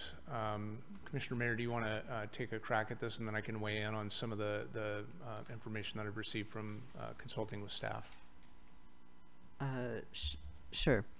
Yeah, um, there was, a- there was a water conservation policy um, in the draft um, that was weak. And I think we can make it stronger, especially in light of our expectations that uh, water shortages are not going to leave the state of California and that we can actually adopt policies in our general plan that will give our cities some teeth um, to enforce water conservation requirements. That's what that language would do. So um, the concerns I had were um, related to, uh, you know, sort of the financial implications of implementing such, uh, you know, policies. I coordinated with our uh, city attorney, our finance director, city manager, and um, Rachel Hernandez, our wastewater operations and compliance manager.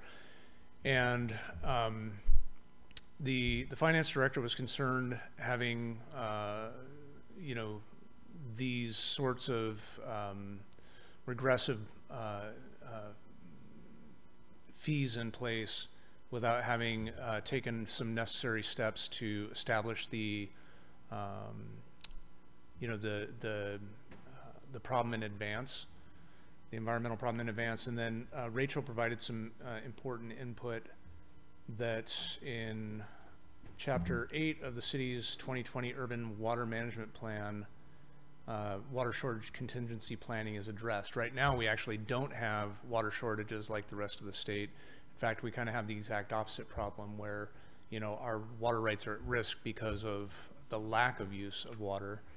Um, and so it's not quite, you know, at that critical point, but we are planning for it. Um, and she cited some, some language here um, uh, that is something that you could consider if you felt like uh, adopting something like this, but um, that's that's sort of the feedback. So sort of a lukewarm recommendation for not adopting this, but we have a, a alternative policy for you if you'd like to hear that. Could we hear that? Sure. Uh, it says in response to water shortages, the city will work collaboratively, cooperatively with the regional water supplier and the supplier's other municipal customers to implement an effective water shortage contingency plan that defines response actions based on the severity of the water shortage.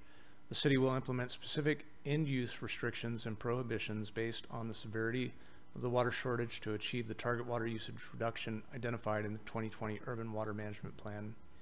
In-use prohibitions shall be determined based on current conditions, recommendations of a regional water task force, and historic water use data and trends, and will be considered for mandatory penalties, charges, and other escalating enforcement actions, including education and outreach, issuing verbal written warning, penalty assessment, and water service termination. So this language also has not been fully vetted, but something to that effect, kind of putting it out instead of saying that um, uh, that we should consider imposing these in response to these extreme water shortages, identifying that you know we don't have extreme water shortages now, that we've got plans in place for these contingencies. If those contingencies occur, if they trigger, then we will follow up with these types of policy actions based on recommendations of future decision makers. I, I don't see those two statements as being contradictory at all. Um, they, they are um, simply putting a shorter version of that longer version as a policy into our plan. Um, we could also simply refer to uh, the language that you just read, in which case members of the public will have no idea what we're talking about because they will not have read that language. Um, and this makes clear that um, the city may consider something which you already gave us a list of. And so I, I don't see any harm in including that in the plan. I, I think your language is fine. What I would offer is to add the first sentence, in response to water shortages, the city will work coop cooperatively with the regional water supplier and the supplier's municipal customers to implement an effective water shortage contingency plan that defines response actions based on the severity of the water shortage. And then the, I think, second to last or maybe last sentence that starts with in-use prohibition shall be determined based on current conditions, recommendations of regional water task force and historic water use data trends, et cetera. So if you're comfortable adding those couple of sentences around, like uh, maybe the, the bread to your, um, you know, cheese and, and avocado there? That sounds great. Okay. Anybody opposed to that? Okay. Um, does anyone mind if we crack some windows for oxygen up here on the dais?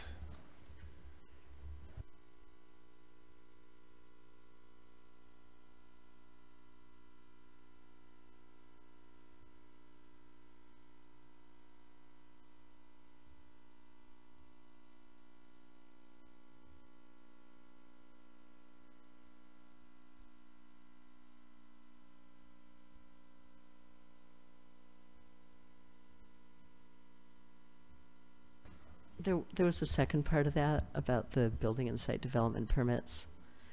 Um, did you want to do anything with that? Um, I think these are already um, regulated through, um, help me with the acronym, Joe. They, they may be regulated through a whole number of things, but getting it in there as a general plan policy, I think, is an important step. Yeah, I mean, we have building code um, and all kinds of other uh, requirements for that. So, building. Right. Presumably, those things think those- would be consistent, Yeah, those and and the general plan is then the Yeah, high-level document that warns us to watch out for them. Yeah, I don't see a problem with that language. Everyone good with that? Okay. Great. Ever onward. Okay, so um, I guess the question here is if you want to go into these other matters categories. Now, um, just sort of refreshing your memory, these are policies that had questions but not specific recommendations, or if you want to jump into the public facilities, which actually have policy recommendations.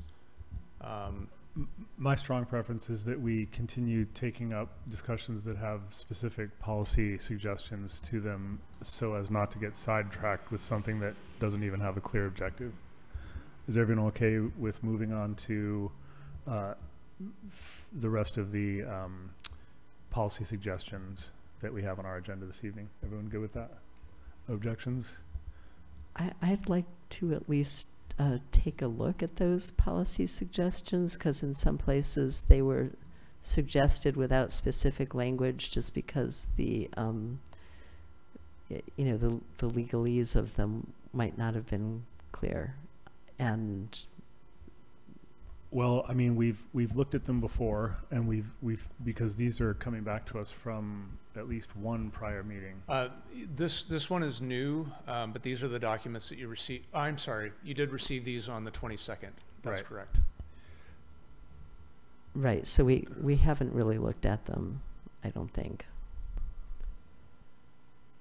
And it, one, one of the things about our public facilities, um, element right now is that it says nothing about any of our healthcare facilities. Um, although most of them are lo, well, some of them are located on public facilities zoning. And so do we want to have a plan where all of our healthcare facilities are addressed in a different element and not even mentioned in our public facilities plan element? I, if I recall correctly, where we landed on this subject at our last meeting was that anyone who who just kind of raised issues without specific policy suggestions could always revisit them and include a policy suggestion, which would sort of bump it higher up on our list of things to consider. Again, I'm I'm concerned that if we get into a discussion about something that doesn't have a specific policy proposal attached to it, There was a specific policy proposal, there just wasn't explicit language. There was a decision to make. Do we want to identify our healthcare facilities in our public facilities element? That's the question. Okay, well, let's take a vote of the commission. Do we want to dig into these? Do we want to move forward into our list of items to discuss that have specifically policy suggestions? Or do we want to dig into some of these things and see if we can generate some language? At what point would we get back to these other matters? If we're considering them loose ends, are they bike racked or? These are bike rack items. And if we get through the policy stuff this evening, we, we would jump right back to these before we move on? Is that the idea? Um, I, I think that if there's time, I think that's the. the If full there's time, that's the idea. It's just Okay. difficult to say right now. Yeah. What, we've got about an hour and a half left, about an hour and twenty minutes because we need ten minutes at the end. Uh, Um, so I'm looking for a preference, whether Yeah. we move Well, my forward with. preference would then be to tackle the policy stuff first, just because it does seem more straightforward, and if we have time, jump back to this other stuff. Okay, Christian? I second Dan's. I agree. Move forward. Joel? I concur. Okay, so let's, m- let's move forward to the items that have the specific policy pieces, skip ahead, bike rack these, and get back to them as soon as we can. Okay, and I've, I've got more language to reveal that wasn't in your packet, but was added after the fact here. Um, uh, had a com- uh, conversation with uh, Commissioner uh, Simmons uh, and added this in, so I'll let, um, uh, let you take this. I'm not sure, this wasn't supposed to end up in the consent calendar. I'm not sure how this ended up there. I made a mistake, I apologize. Yeah, so I had originally proposed uh, two separate policies related to policing. Um, these were both. Oh, go ahead. Yeah, I'm sorry. Um, I'm just wondering if. I'm sorry, I'm just wondering if uh, this was mistakenly in the consent. If I can move this down to the policy pitch and then you take up the consent policies first? That sounds like a good plan. We're gonna I'm fine with that. Okay.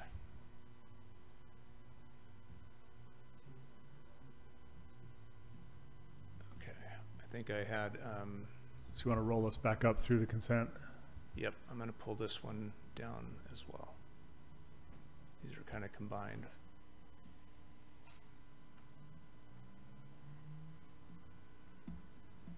Okay.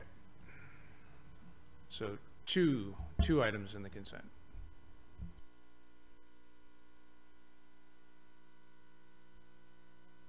I, do we usually give a pitch for consent items, or do we just usually go into them? I think they're both mine. I think I'm just looking for people to look at them and see if there's, and if there's, if there's no objections, we can just adopt these and get on to the next items. Um, but if anyone has, wants to pull one for discussion, we can do that as well.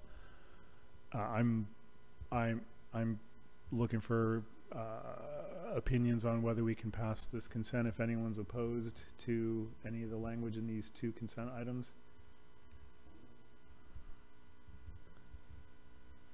Uh, and then just a note from the staff at the bottom here that um, this last policy about smaller fire trucks almost seems like an implementation measure. Does it matter to the commission whether it's put in as impl- implementation or policy? Okay. Anyone opposed? That sounds like it makes sense. So now let's move into, go ahead, Matt. Yeah, so, okay, so I had originally proposed two separate policies that are now being advised by staff to be combined into one policy. Uh, The, the purpose of my original two was, one, I had received public comments, sorry, uh, I, I had received public comments urging for both of these two policies. Uh, One was sort of a higher level, you know, we should be working on anti-racism in our police force. And then the second one was very specific incidents where, you know, a lot of uh, police-related fatalities happen during traffic stops. Um, Had a conversation with staff today uh, where they suggested some new language.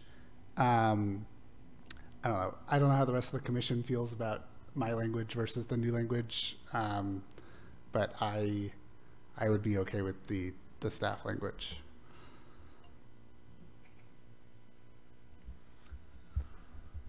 So the new language, uh, in part this, again, generated from some internal vetting with the uh, police chief, the city manager, and city attorney. Um, And uh, together we came up with this language here that sort of incorporates both concepts of anti-racism and, um, uh, you know, reduction in, in the- the um, de-escalation and reduction in, in police uh, uh, involved shootings. Yeah, absolutely. It says, um, the new policy PS seven F would be entitled Principled Policing, and it would read, "The Arcata Police Department shall conform to state and federal law, California Peace Officer Standards and Training Standards, department policies, and twenty-first century policing best practices to combat racial profiling and bias in policing, and to promote de-escalation and principled policing."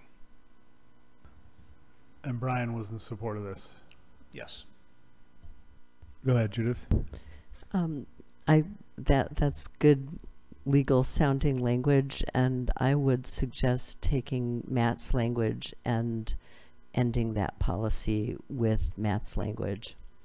Instead of having it at the beginning, there would still be a statement with regard to systemic um, and overt racism. I, I feel that um, it's very much in the spirit of um, the legal sounding proposal from staff, um, but provides language that uh, the person on the street will understand. So do I uh, understand you're suggesting to incorporate this language I've highlighted here, anti-racism? Yeah, at, at the end, after your suggestion. Uh, I'd be happy to have my original language back in, and it can be run by the same people as run by today. Does anybody on the commission have uh, any concerns about these proposed language? This proposed language? Uh, yeah, you're gonna eliminate felt like it was missing from this section, I'm sure. Yeah, that's not supposed to be that language. That's supposed to be my comment on the language. Yeah. There's nothing in this new language talking about um, the difficulty of armed police interacting with citizens. Do we want to say anything explicitly about that? Uh, I just wonder if that creates a whole new department or who, who those people are that aren't police or, I mean, that must be a staffing issue, right? And training and funding. Um, we do have, you know, some novel um, uh, programs that the city has, uh, you know, initiated, uh, including the the MIST program, uh, the um, you know the recent community ambassador program. Um, there are some of those efforts that you know we have you know at least piloted. Um, you know, again, I'll, I'll you know say just because I know that this was you know vetted internally and there were you know specific reasons for proposing this alternative language, um, you know, we'll pull this down, copy the anti-racism sentiment into that policy. Uh, but the, the staff is going to recommend the, the city council take a, you know, take that into consideration before they, they, um, adopt this and it, you won't see it reflected, that language reflected in the inline changes because the, um, staff have suggested, uh, that that's not appropriate for this, for this policy language.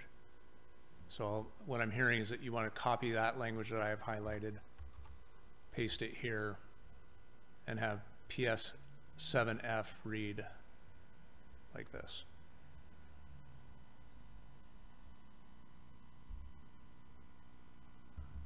And I, I will note that the police trainings are a part of the department's policies. Um, you know, already it's part of their, um, you know, the city council's goals. The city council, uh, you know, established a series of policies after George Floyd's murder um, that were intended to adopt some of the police reforms that were being promoted uh, by community members across the nation at the time uh, into our department's policies. So, um, you know, a lot of this work has been done. Uh, there are just some concerns about having it specifically uh, in the, the general plan. So if we forward it, uh, the city council will scrutinize it and it may get next. Is that what you're saying? Yes. Okay. Well, do you want a straw poll on that or how do you want to? Anyone, anyone opposed to this language? Okay, let's adopt that. And next item.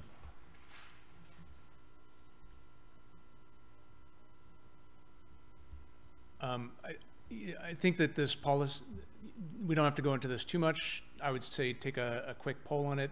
I think this policy language is um, redundant uh, and unnecessary. That's the only reason why I put it down here.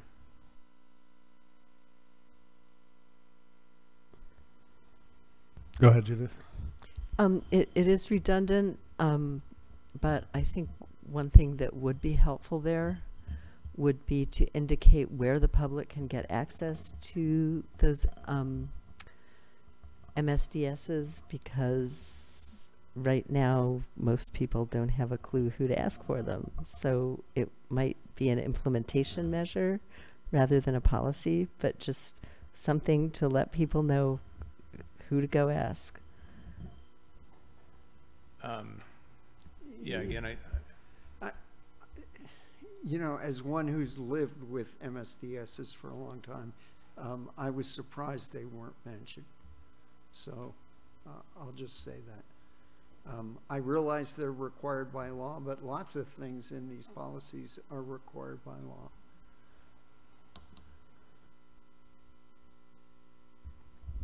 Anybody else have comments or concerns about this language? Is there a simple way to just suggest where the public can get this that you have in mind, Commissioner Mayer? I mean, the general plan isn't supposed to be a informational pamphlet about these kinds of things. I think that people can call the city and ask. Um, and uh, MSDS forms are, they're all throughout the city. Wherever we store um, materials, we're required to, to retain them. And so putting a comprehensive list in the general plan would be um, probably inappropriate. Um, noting that you can, you know, reach out to city, the city, I guess, to, to find out where these are would be uh, the most I would recommend that you do, at least at the policy level.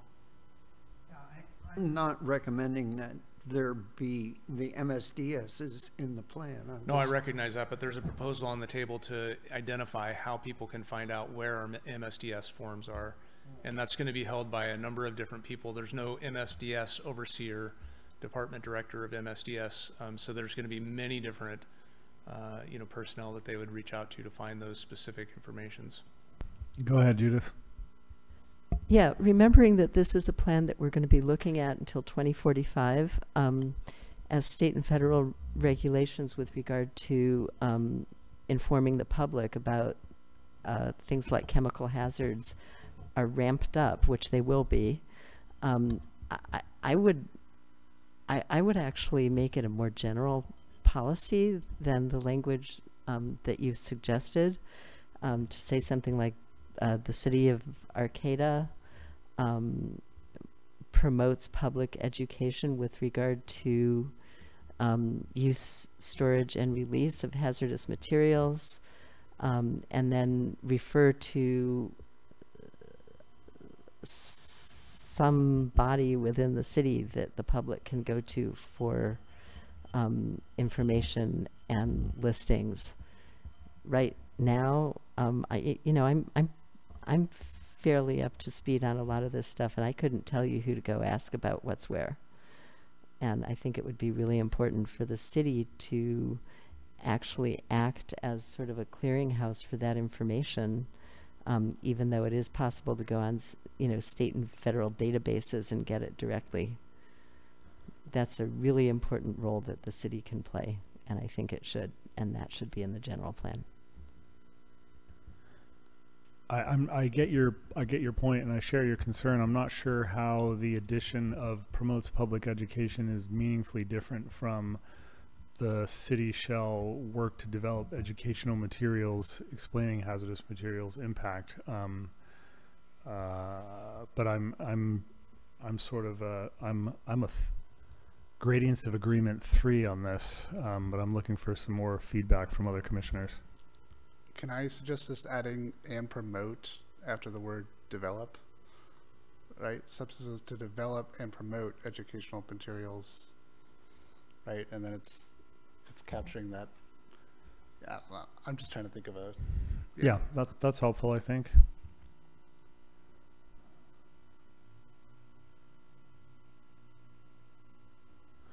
Is, Okay, we got about three uh, alternatives on the table. How do you want to resolve them? I was just imagining, you know, the ability of a citizen who's concerned about something, chlorine at the wastewater treatment plant could come in and read about it somewhere in the city, that's all. Um, Well, and they I- can. I- I really, I, I realize it's required, and I don't want to make a big deal of it. I mean, whether it's in here or not, I don't think it's important, but I think it's important for people in the city to know that the information is somewhere and they can come look at it. Uh, I have a question. Does the city have a um, illness injury pre- uh, prevention program? Yeah. That's where all that stuff lives. It should, and it's that's where the safety data sheet should live. It's, it's no longer MSDS's, so it should that all that stuff should be captured in that document. So, just stating that if we have one, which we should, so that lays out all all these issues in Well- that in IPP. Is, can we just make reference to that document as um,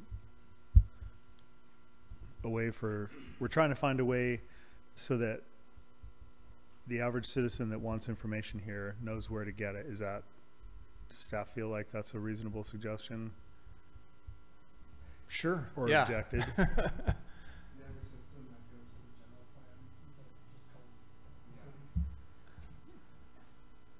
I mean, w- w- I mean, I, I will be honest with you, we've probably spent more time discussing this than we've spent in the last ten years disseminating this information to anyone who is interested in it. So I would suggest that, that you could adopt all of this in some way, shape, or form. If you say, look, we've got this massive information, I think I get a sense for where you want to go. If you want to adopt all of this, then, then I'll come back with some, some language in the final that sort of tries to reflect everything that you've discussed here. And or I'll consult with other, you know, staff that, you know, know more about the MSDS and the, and the way that we handle them uh, to craft some language that tries to get at what you're getting at here. But we're kind of Yeah. diverging at this point. Yeah. Let's do it. And so, That sounds good. Is everyone in favor of that solution? Okay, and this may be a, a combination of implementation measures and or policy fixes. Great. Okay, and Sounds everyone's great. comfortable with that. Let's hit the next item. Okay. Um, again, I'd recommend just dropping Here, this. here we go again. Yeah, so, Attached to LCP discussion.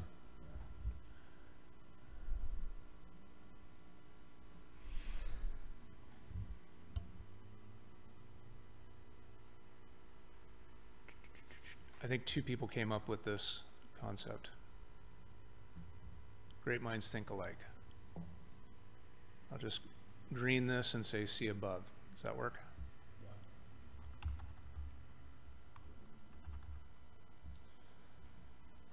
Okay, good job. You got through all of the items there. Um,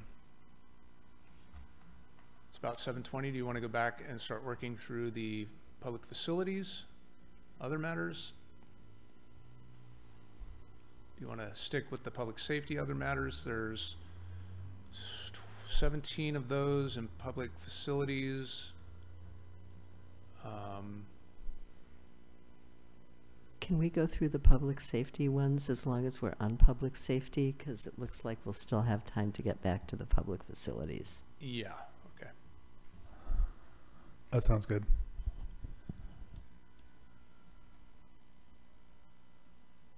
Oh yeah, there's only one. okay. This one's mine again. Um, This PS4C talks about requirements for building within flood zone A. Um, And my question is, why are we building in a flood zone? I, and if you look at the map, the flood zone is not a large area of, it's right along the creek. Um, Can we, I, mm, let me ask you, can we build in a flood zone in Arcata? Yeah, there are um, there are uh, building designs that allow you to be able to build in flood zone A, and there's actually quite an extensive area in the south of Samoa, G and H Street, that are in flood zone A as well. Um, so that there are there are allowances for that. You can't build in a floodway, but you can build in a flood zone. Joe has something to add. These are um, regulated by the Federal Emergency Management Agency, and uh, so they have kind of, we've actually changed it. It used to be in the land use code part of the zoning, and we added it, moved it over to the municipal code. So we do have programs. We, um, the city engineers, the floodplain administrator, so they manage those policies of the FEMA. And so there are, as David mentioned, there are lot of language in the municipal code already about those prescriptive measures on how to build uh, within the flood zone. And as an example, through the um, Maple Lane, Baldwin, Cropley, Davis, there is quite a bit of an area that has existing homes that are, they, a lot of them pay, pay flood insurance.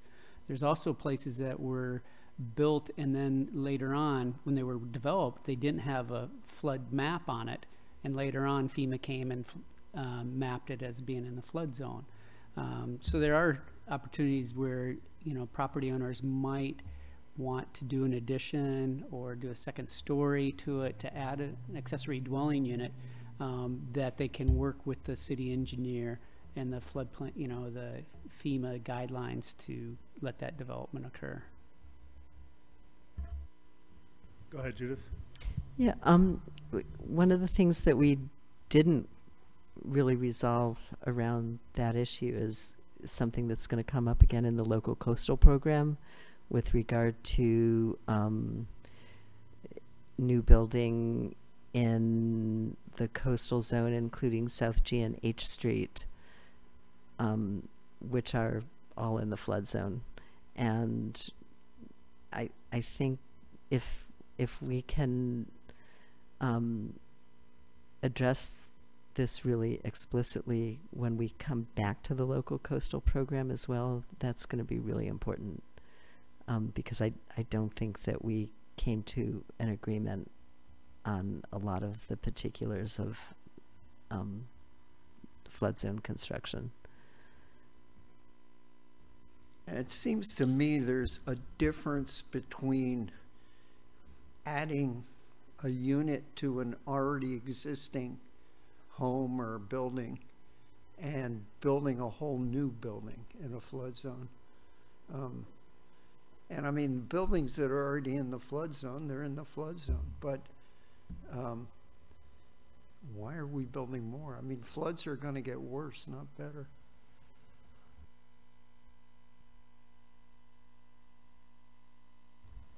Anybody else have anything to add to the flood zone A building discussion?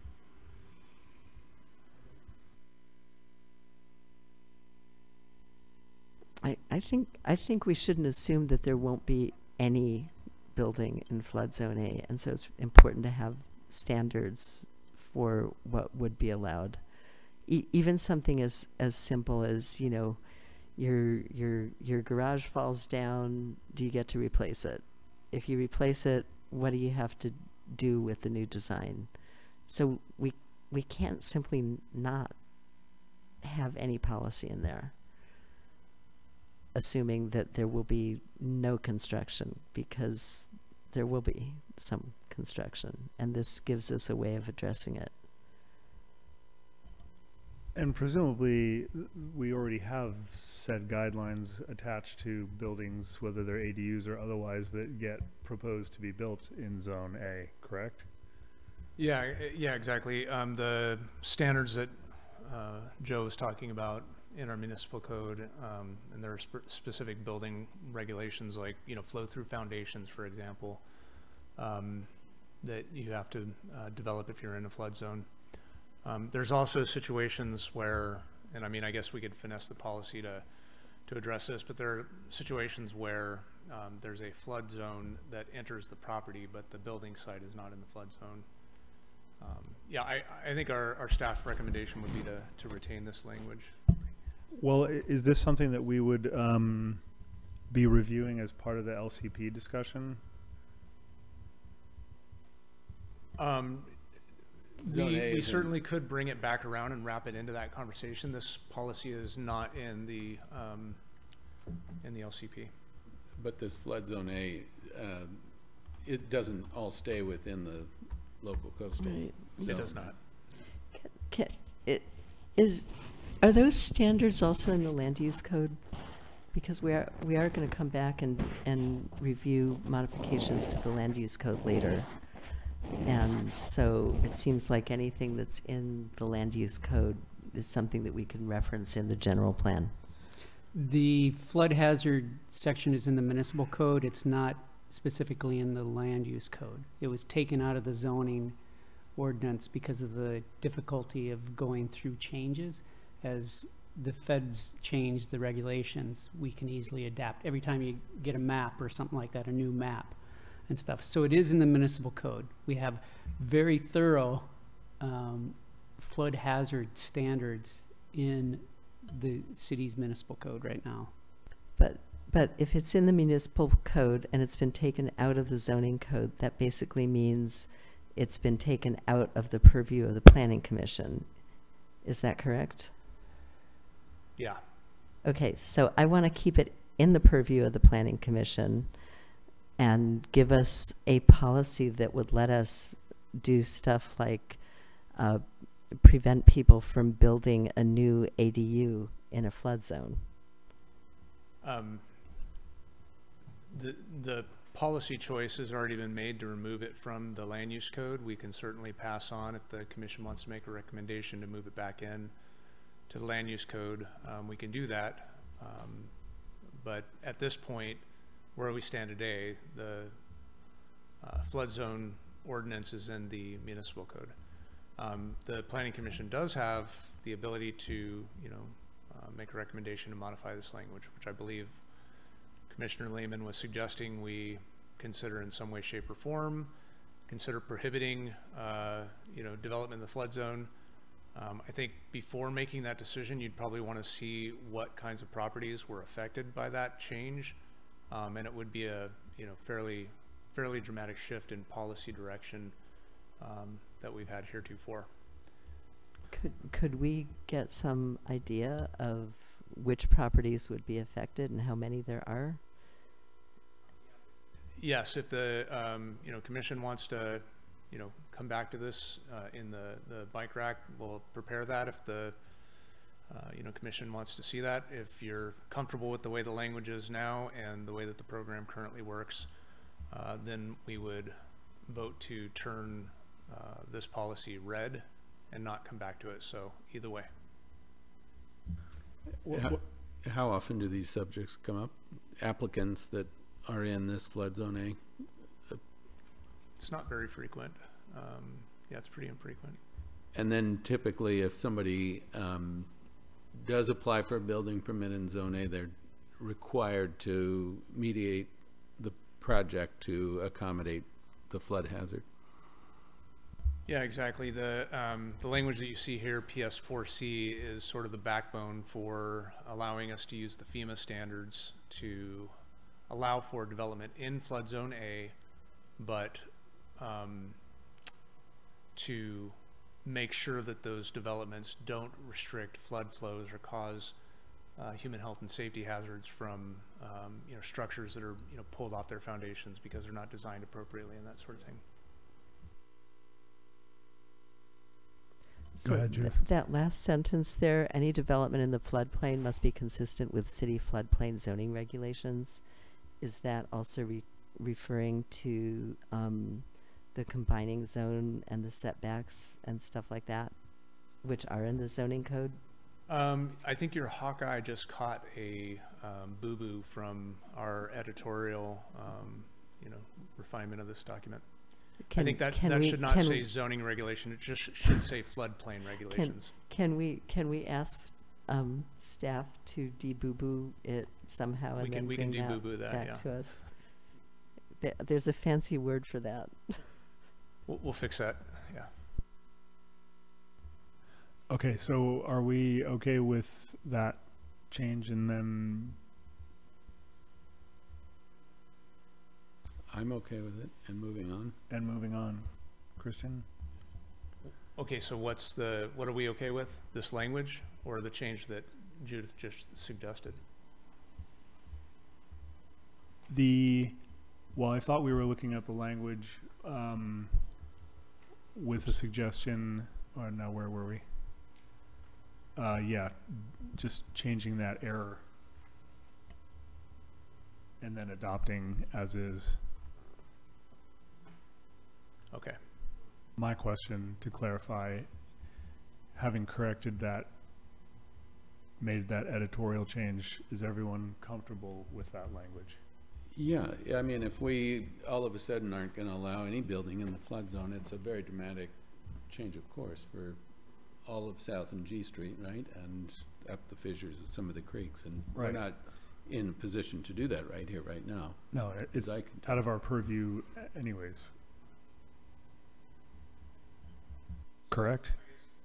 I'm sorry, uh, so the, my question, just so I make sure I get this right, is this proposed change to, you know, there's no specific recommendation here, but on the other matters of, should we be allowing development in the flood zone, is this going to red or is this going to gray? Red, we're done dealing with it, gray, we're gonna come back to it later.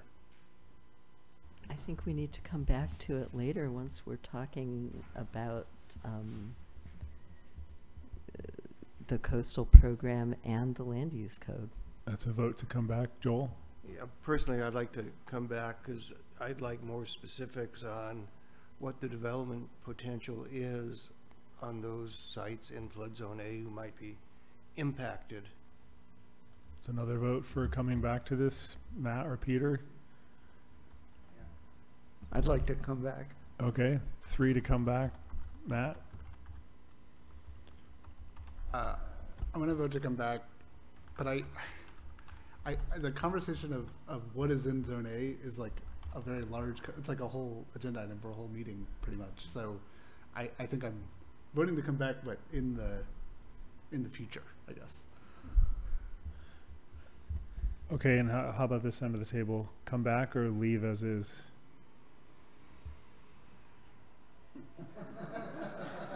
Uh,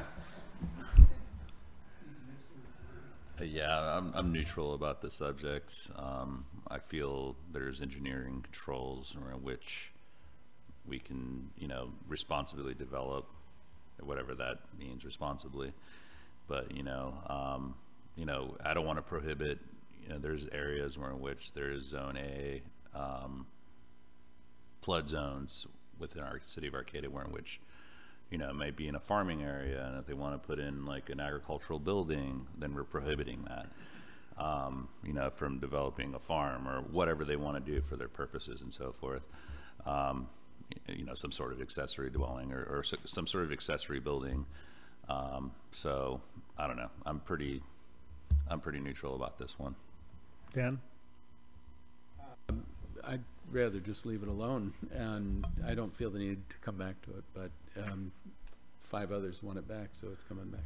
Well, maybe we can um, then put it in the bike rack, and can staff possibly in advance of this coming back to the top of the bike rack, um, I don't know, provide a little more information as like what exactly is in that zone. Yeah, absolutely. And I'll, I'll make sure that the city engineer is here to, you know, tell you Okay. what the Then, details. then let's leave that there and move on to the next other matter. So now we're moving back to the top of other matters without specific language suggestions. Yeah. So telecommunication telecommunications facilities. Who whose was this? I think this was uh, Commissioner Lehman's. Uh, PF5D telecommunications facilities. In the old Copeland site. Yeah, It, uh, so, this is me being kind of a grumpy old man. Um, um, um, You have that prerogative, sir. uh, Thank you. Um, th- uh, This section states, "These facilities shall be screened from view," blah, blah. And the new facility at 11th and M is not screened from view and is ugly and wastes a lot of space. And I'm wondering if that can be remedied. Are, are, you talking about the the fence or a, a tower? I'm talking about the fact that that facility has that horrible fence and it uses a huge amount of really valuable real estate to do nothing. It just, you know, is a gravel parking lot, with no parking. You you came on the planning commission just in time to have missed that event. I mean, if there's a question of can there be any anything can be done, I'm just going to Yeah, guess the answer exactly. is no. That's my question. But what does staff say about? Um, just real quick, uh, the fence, uh, the data center is planning on coming in on a, a phase two for their project, and we've already uh, let them know that they will be submitting a plan for a new fence at that time. Um, they're fully aware of that. Um, the uh, zoning can be changed. This project was principally permitted because of the type of project it is, so certainly uh, the planning commission can take a look at that and decide to, to change those. Um, you know, I think that we have to accept that there are going to be a certain number of these, you know, dead sites, for, for lack of a better word. You know, we've got AT&T up on the hill, you've got the PG&E sites, you know, scattered throughout town. In order to serve the utilities that we need, we need the utility landing facilities that uh, help manage those. And so certainly it's within the planning commission's purview to, to amend those codes in the future. Here's a thought. I mean, we heard a comment from the public today that we could use a park in the Gateway area. I mean, half that lot, more than half that lot is just empty now. Can they be encouraged to, you know, put a playground there or something? Um, I, I'm sorry, I don't want to get too sidetracked on this conversation. The answer is no. They won't allow a playground. Um, they also are planning on doing uh, future phases that will take up that space that they've got, the real estate that they've got on that property. Okay, her, grumpy old man comments heard and recorded. Uh, for the record, um, I'm not sure what else we can really do with this um, right now, but uh, I think we're all in agreement. Let's hope that the future changes that happen in phases two and on and on and on um, address some of this stuff. Well, we've already heard that the fence is uh, going to get mediated in the future with phases two or three, which is great. Yeah. Which is great. Excellent. And and we, and we can thank staff for conveying the community's dismay at the way their design has turned out to date. Great. Just one more, we're also talking about changing the zoning, right? That's what the gateway plan is, so we're, we're working on, on that too. That facility would not be allowed under the gateway plan. Right, so, yeah. Yeah, exactly. Okay, uh, this next one, uh, general, um, whose, whose That- suggestion that- was this? That was me, Okay, and, Judith? and I kind of brought it up um, for discussion because I, I'm assuming that healthcare facilities are addressed somewhere else, um, even though um, they may actually be in areas that are zoned as public facilities. A lot of them are in facilities that aren't zoned as public facilities. There's a kind of a disconnect there between um, our healthcare facilities and our zoning for historical reasons, but the fact that our public facilities section doesn't um, even mention our healthcare facilities is a problem to me. And at the very least, it seems that um, we could direct the readers to where they will find out about healthcare facilities. Um, the second part of that um, is asking a question about um, how does the plan address things like uh, charter schools that are operating on property that is not school district property, and we've had a number of issues with them coming up before the planning commission um, over the years because those charter schools occupy sort of a of, of an in in between place.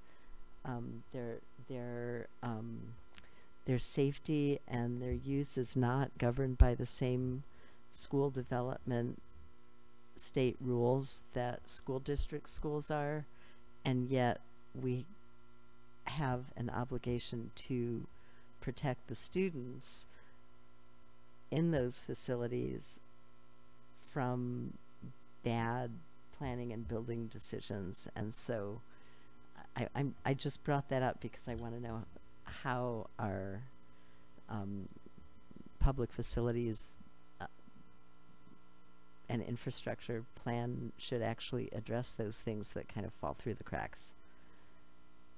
Because right now it doesn't address them at all.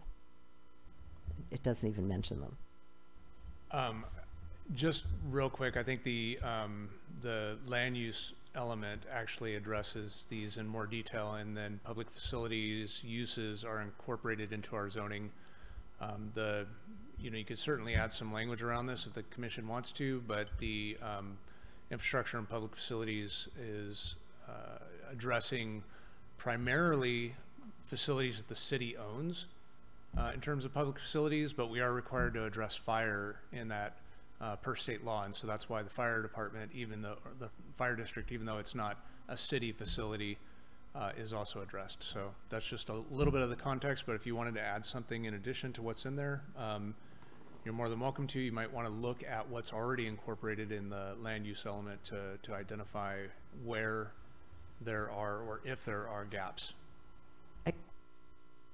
asking is that we did address school districts. Um, th- those are addressed. Um, and then there was, there are policies about education that is addressed. And, and yet these things just, they've, they've fallen out. So maybe staff can develop some language to at least uh, acknowledge them and direct uh, readers to where in the plan they might find those things addressed because this is where I would expect to see them addressed. And so when they're not there, I'm wondering why aren't they there? They must be somewhere else. Um, and that will help direct readers to where they are.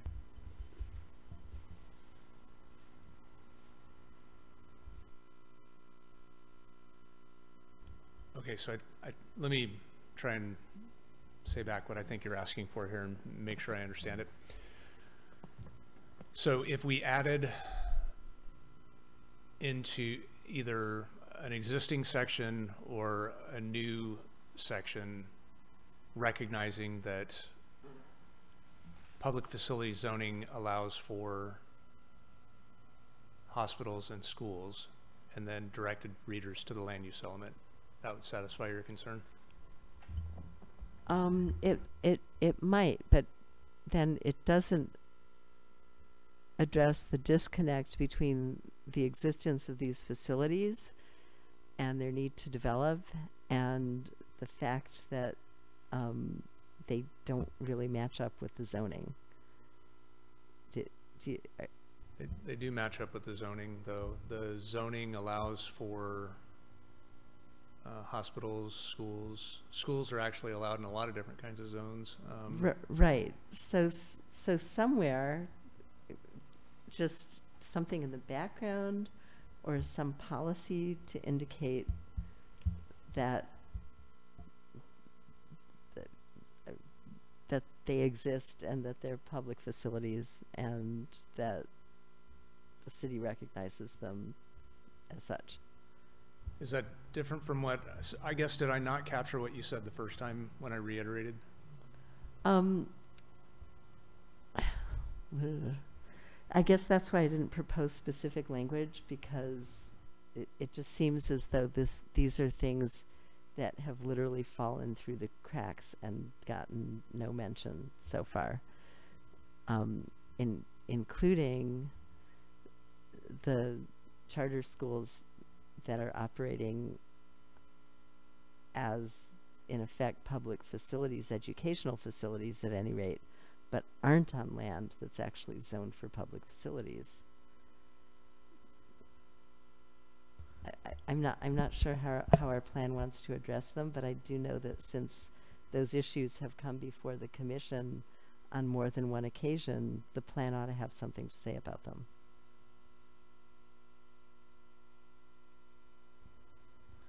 I'm, I'm not a, I'm, I'm not hundred percent sure what, what we're trying to fix here. I mean, I hear what you're saying, but I, I feel like we're, I'm not sure where we go to suggest this, um, being different, um, to be honest. Does, does anyone else have a, a, a opinion on the language as it is or a proposed change that might help this discussion?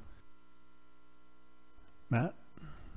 I'm I'm also not entirely sure, but I, is it just that there's a list of things that are public facilities and it currently doesn't say hospitals and charter schools and that you want to add those two things or I want some mention of them, even if it's only uh, directing us where to find information about them. Okay, let me, let me try one more time. What I thought I heard and what I feel like I heard you say again, and then what I thought I heard you say for the third time, which sounded real similar to what I said, but you seemed to say that I didn't hear what you said.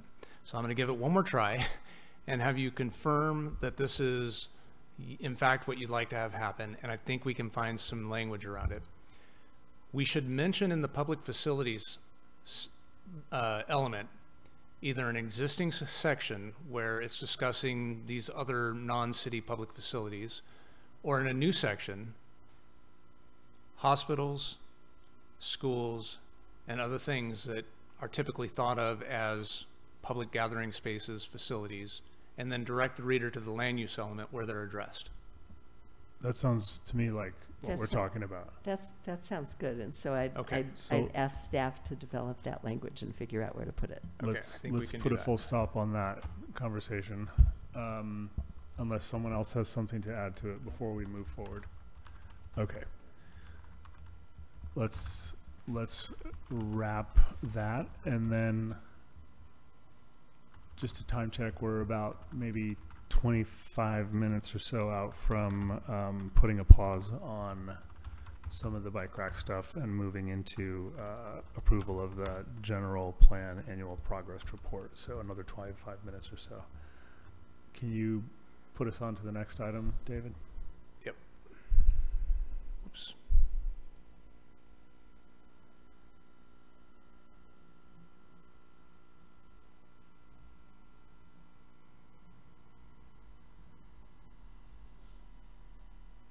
Okay, I think this was already addressed.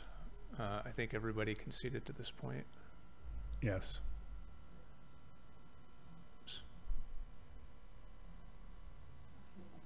I think those three things were all sort of editing things that I had suggested about where to move things so that they made more sense.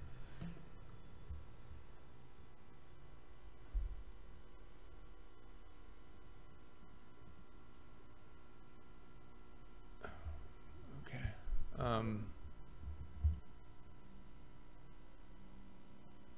it's we just covered four, right? Is that what you're saying? We number four up there, we kind of just covered, right?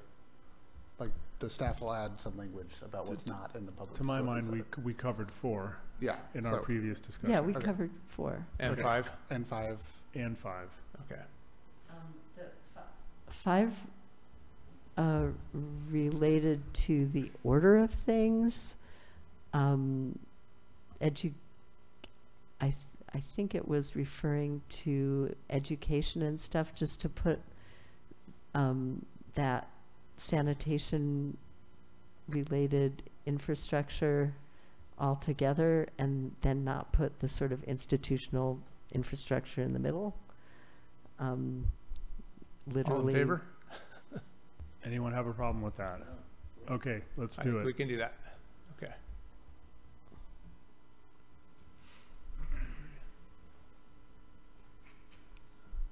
Item six.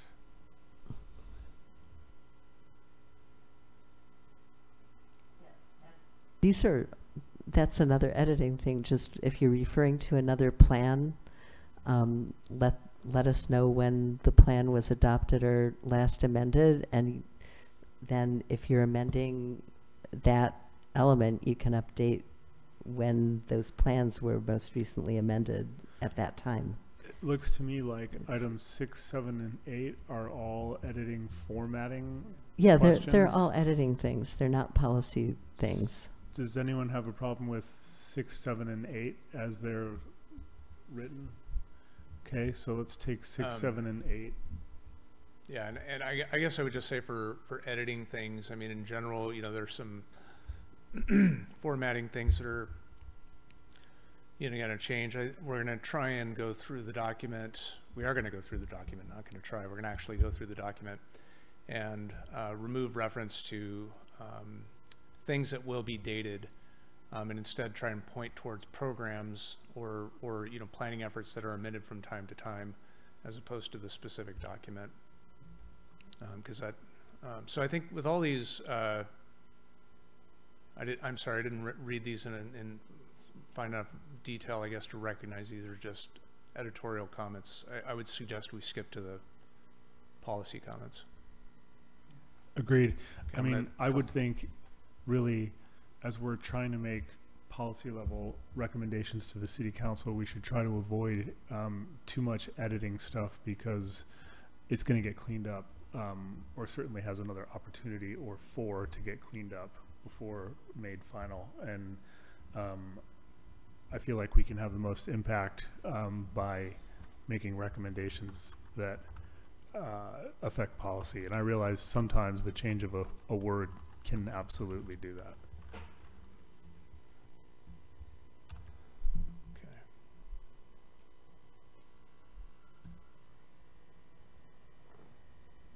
Okay, so we're up to 12. Okay, so that, I feel That like we was- covered this. uh, the PF4. Don't strand the section between, That also refers to um, coordinating with Cal Poly um, with regard especially to the last part to city services. The previous part is actually um, putting a broader objective in there rather than just this sort of narrow mechanical one.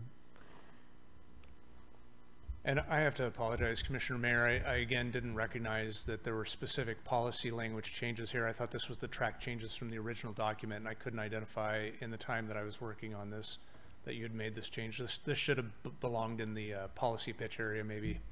Um, It, it, it's fine. I mean, it, it's just, you know, the editor in me edits and changes words. So,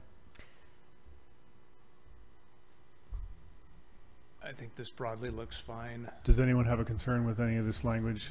Then let's keep moving. Okay, let's see. uh, the PF4A, which was below that, was to add mention of the high school district, which had been left out.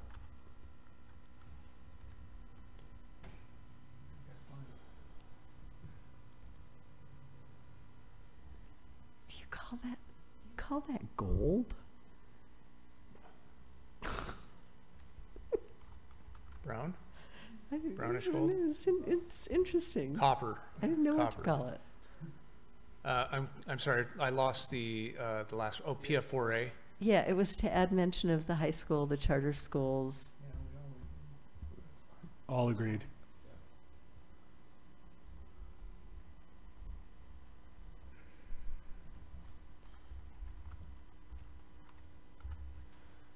Okay.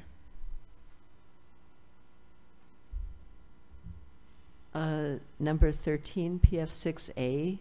There, there's a lot of stuff in the in the the zero waste section that has lots of detail that I don't think really necessarily belong in a general plan. Um, and it, it's all good stuff, but it's not really general plan material. And in particular, stuff like examples of effective source reduction and reuse activities that shall be promoted. Um, those things were all private actions except for the last one. Um, and, and they're great, but they're, they don't give direction to the city um, in a way that is super useful. And there's some great background in the um, zero waste section, but we need to remember that the plan is actually looking forward rather than looking backward. Um, and, and so it seems like we can kind of cut to the chase with regard to policies on some of those things. So there were a number of items along those lines. So is your proposal to delete everything except for number nine? Um, that would make me happy, but it, you know, if the zero waste people would feel like we're dissing them by eliminating them, then, then, you know, we don't want to diss anyone.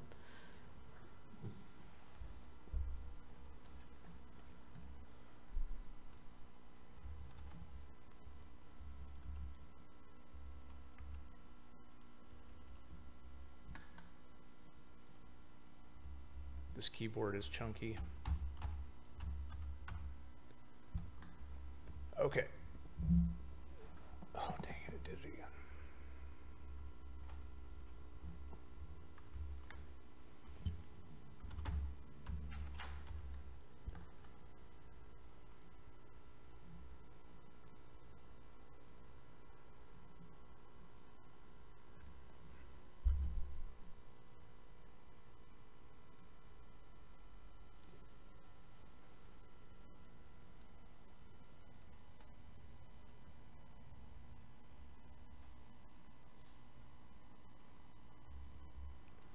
I haven't vetted this with the Environmental Services Department. If you all want to delete it, um, I would say that I'm going to have to check in with them as to what we do with it. This may be one of those policies that they say we're going to keep it, so. Let's, let's leave it gray and put it back in the bike rack. Matt, Yeah, and, did you want to say and again, something? if it, if it's going to make someone feel bad that we're deleting their examples, then sure. So I, I hadn't looked at this language closely until just now, but the, the prelude there is the city shall promote these sorts of actions, right? So it, it is, they are individual actions, but the policy is about the city telling people to do them, which is more of a city thing. And so that, I, I, I don't see what the. Right. Jo- but hold on, I'd like to- in, in an economy of words, um, there there's this big long list, and given the types of things that we've cut out because it's saying too much, those are examples of Go things ahead, that Joel. are going to seem quaint by 2045. Well, it may be, but uh, it's, it's in the plan now. It, I don't see any harm keeping it in there. I think it's, it's good, you know, if anybody from the public ever reads the general plan and wants to, you know, get an idea of how to, what effective source reduction activities are, they could read it and, and do it or not do it, but it's, it's there. Yeah, I agree. I mean, it's there and uh, it's useful and w- just leave it there. Two votes for leaving it. Anybody else? Uh, You know, I like the idea of challenging environmental services to see if it's all still up to date, but that's on them. I, I think we should have it in there. I'm fine with it. Christian? I think so.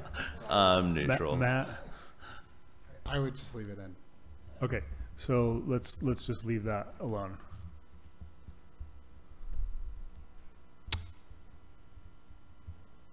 Fourteen? So that's me. Um, I read this, a goal of achieving ninety percent landfill diversion by twenty twenty-seven. And that seemed like a very difficult goal. Um, I ask, is it realistic, realistic? Do we want to claim that?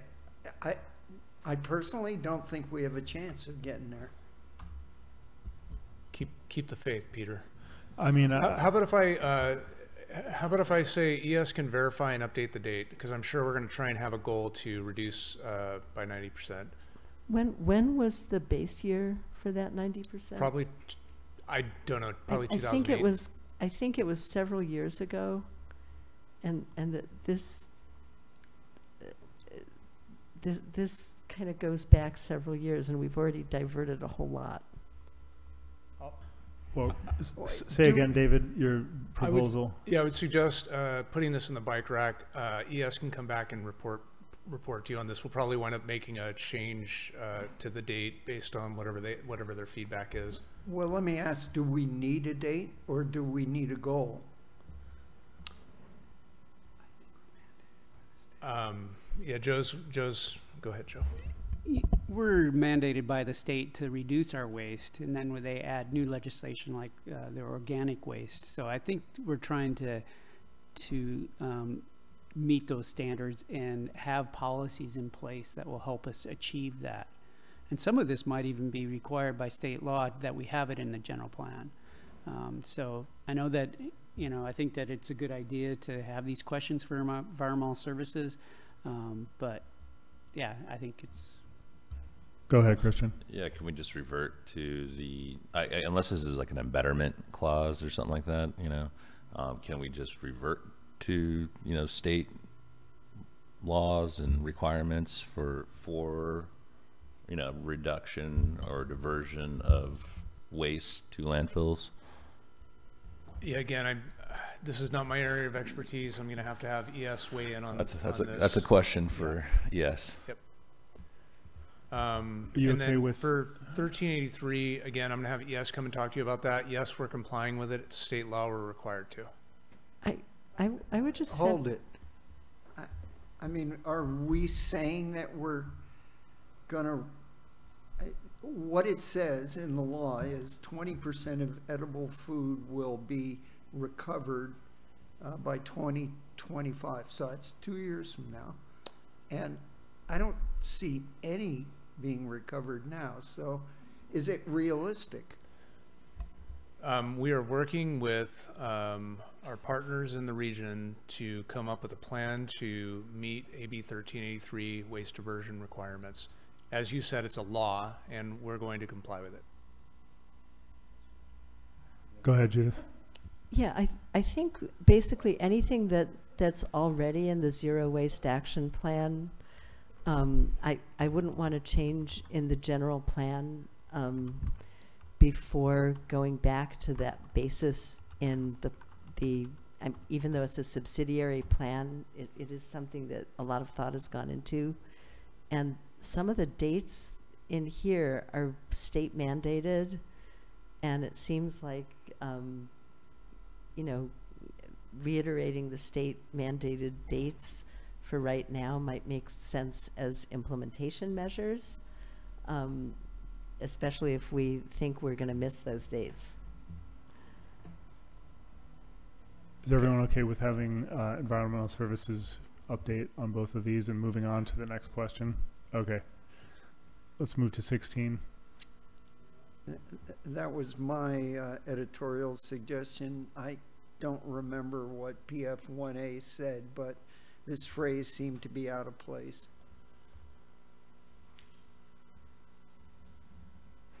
City shall continue. You said, uh, striking though the city is well within its water allotment. Yeah. That didn't seem necessary. It seemed like the city was kind of bragging about um, being well within its water allotment. And so what? It, it doesn't affect the overall statement. No concerns from staff? Does anyone have an issue with changing that language? Then let's adopt it and move on.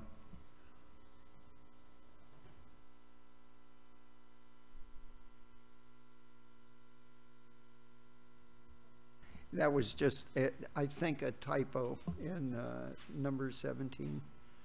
Um, If, if you look at those uh, percentages, they go in um, discrete intervals, and this interval just seemed out of play. It, it seemed like um, somebody um, saw 30% and, um, or saw 70% and subtracted it from 100 to get 30.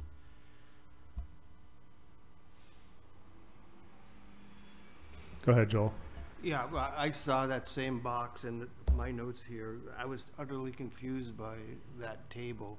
So I think it- it bears, there's a table on the page that shows percentages, and the- it's a little bit screwy, at least the way I looked at it.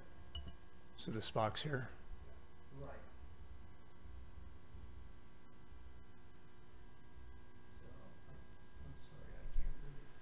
Uh, let's see. Uh, paragraph number three, I think, kind of seems out of order with some of the, the way, the numbers were de- descending and then Right. that That's thirty what I'm percent, saying. yeah. It went 90, 80, 30, 60, so obviously the 30 should be 70, not 30.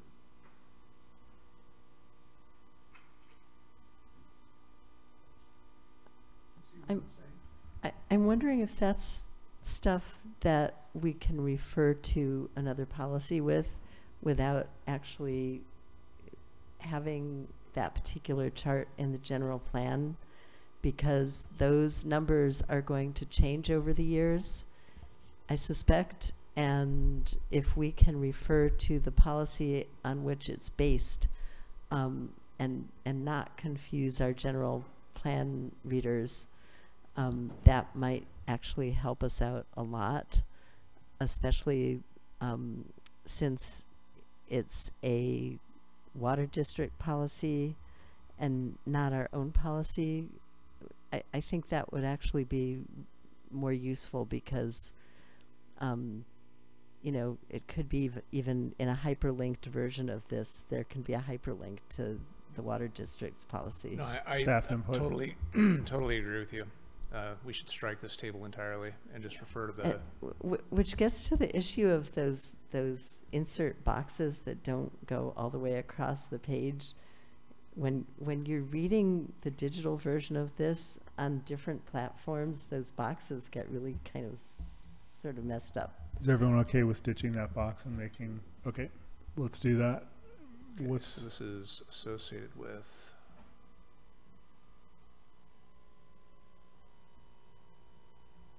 One. I don't know, it's on two dash eighty, I'll just make note of that. Okay, so delete the box.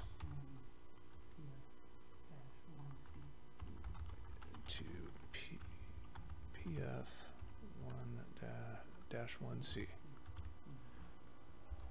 Okay, But can you still refer to the water district policy document nope, somewhere? Nope. no, I'm joking, yes, of course. Okay.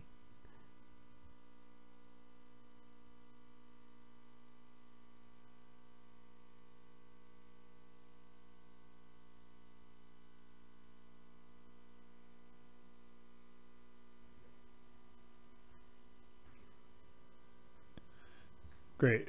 Seventeen, That was that's seventeen. noted, yeah. So, awesome. As They much They fun. said, they said it couldn't be done. They were wrong. Um, so as much fun as that was, um, our next agenda item is to recommend approval of the 2022 General Plan Annual Progress Report. Can we begin with a staff report, please? Yeah, um, thank you for uh, your work on that last agenda item, everyone. That was um, that was a lot, and I appreciate everyone's diligence uh, working through it. Uh, so I'm going to be really brief here and uh, defer to any questions that you might have, and just offer that you uh, would adopt resolution uh, PC number PC 2302.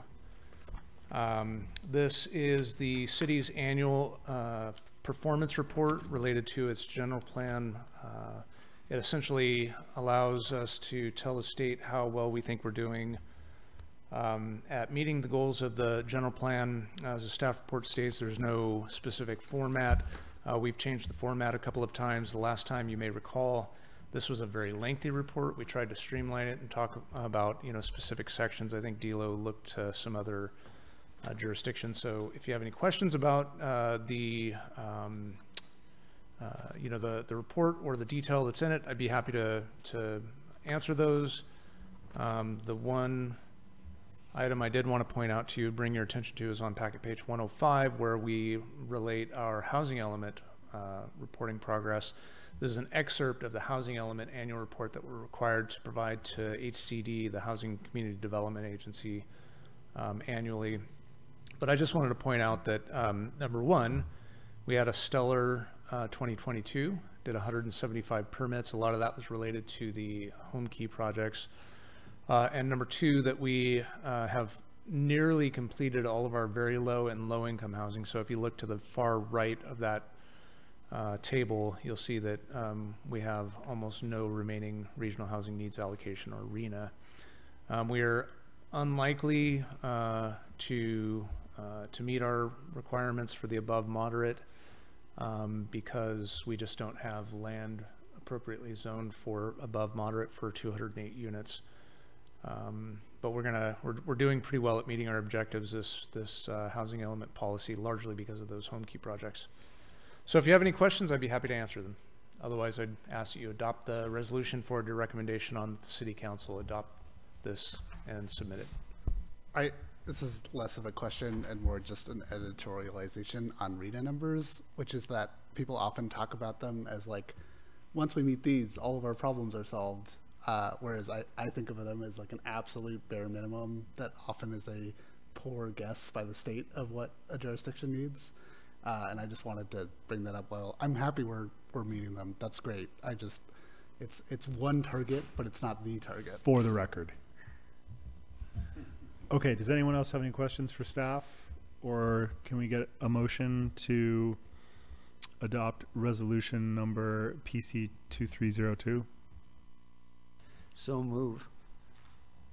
We got a second? We have a motion? I'll second. Motion and a second, all in favor? Aye. Aye. Aye. Motion passes. Uh, thank you very much for that. We're now moving on to correspondence and communications. Do we have any correspondence from planning commission members? Yeah. Go ahead, Dan. Uh, two questions to leave you all with. Um, one is um, see, doing design review on a project feels uh, out of place in these times of trying to keep costs low and streamlining people's ability to build homes. Uh, it's great to see what's being presented to us. I always enjoy to see what people are building. However, that it's just because it's in this neighborhood conservation area, which I happen to live in, and I think it's nice. She's adding a nice house to the neighborhood. I appreciate that. But it sure strikes me um, that there's a whole bunch of other parts of Arcata that they don't have to go through that scrutiny. They just go to the city and get a permit, and it doesn't come through us. And I uh, don't pretend that we're going to tackle this right now. I just wanted to plant a seed that this seems out of place in these days of trying to streamline all processes through the city. I'm sure it cost them a two or three thousand dollars extra on their project between applying for a uh, opportunity to appeal to us, as well as staff time to type all that report up and you know, et cetera, et cetera. Um, so that's one item. The other is I'm I keep hearing from the public that they want to know that they're being heard. And um, I know sometimes at the end of public comment, commissioners respond to certain things that were said, and I'm just wondering if how we all feel about that. And we don't, I don't, I'm not trying to start a big conversation, but it uh, sometimes feels to me like maybe we should just say things more often, directly responding to people that are kind of calling us out for apparently not, you know, discussing their agenda topic or their, you know, grievance that they're bringing up over and over and over, and they're not feeling heard. Um, so I, I don't quite know how to remedy this thing. I just feel like maybe there just needs to be a little bit more communication between us and them. And at the end of public comment, we have the opportunity to do so. We don't choose to, usually. Sometimes we do. Um, anyway, that's, that's all. I think you bring up a, a, a great point, um, and I struggle with this as well. Um, we listen to public comment, we read um, letters from um, constituents that write into us. Um, we get a variety of information from the public. Um, I know some people feel that, or my sense is that some people repeatedly make the same comment and when they don't see what they want enacted, their assumption is that public comment is not being heard. I understand why people feel that way, but my personal take on this is that the process is messy and involves compromise for everyone. And so while some people are getting giving comment and not having their comments heard, for almost every issue, there are other people that have made the opposite comment and probably don't feel the same way. So um, I, I, I think part of what I'm saying is I, I feel like it's inherent in the process uh, of trying to come to a compromise as a community over issues that people are going to feel um, unheard when they don't feel like their specific viewpoint is catching traction. That, that's how I look at it. Um, but uh, again, I always think there's other people whose viewpoints are getting traction. As far as um, interacting with people during public comment, um, I think that's important, but I think it could also stretch public comment out, and sometimes it's sort of a judgment call as to whether it's a productive conversation or not, and, and that's just kind of case by case, and I, I can't think of really a specific way to view it other than that. Yeah, Dan, my question to you is who would respond, you know, which individual would respond, and would it be a statement that is the the statement of a group and and you for example would be the spokesperson or is it your personal comment it, it, it would obviously go ahead oh, i'm sorry. sorry. i just wanted to interject with a point of order the communications are intended to be brief comments uh, to inform not necessarily a deliberation i can agendize this if you all want to have a more uh, full discussion about it um, I think it's a really good point, and I hate to squelch the conversation because I think it's a good one.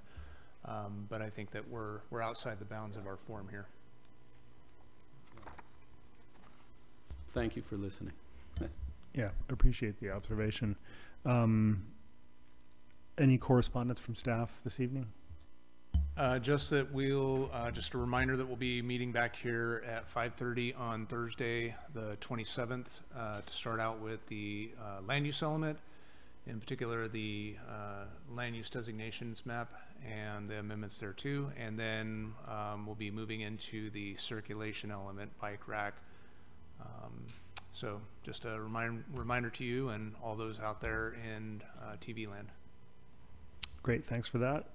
There being no further business, this meeting is adjourned.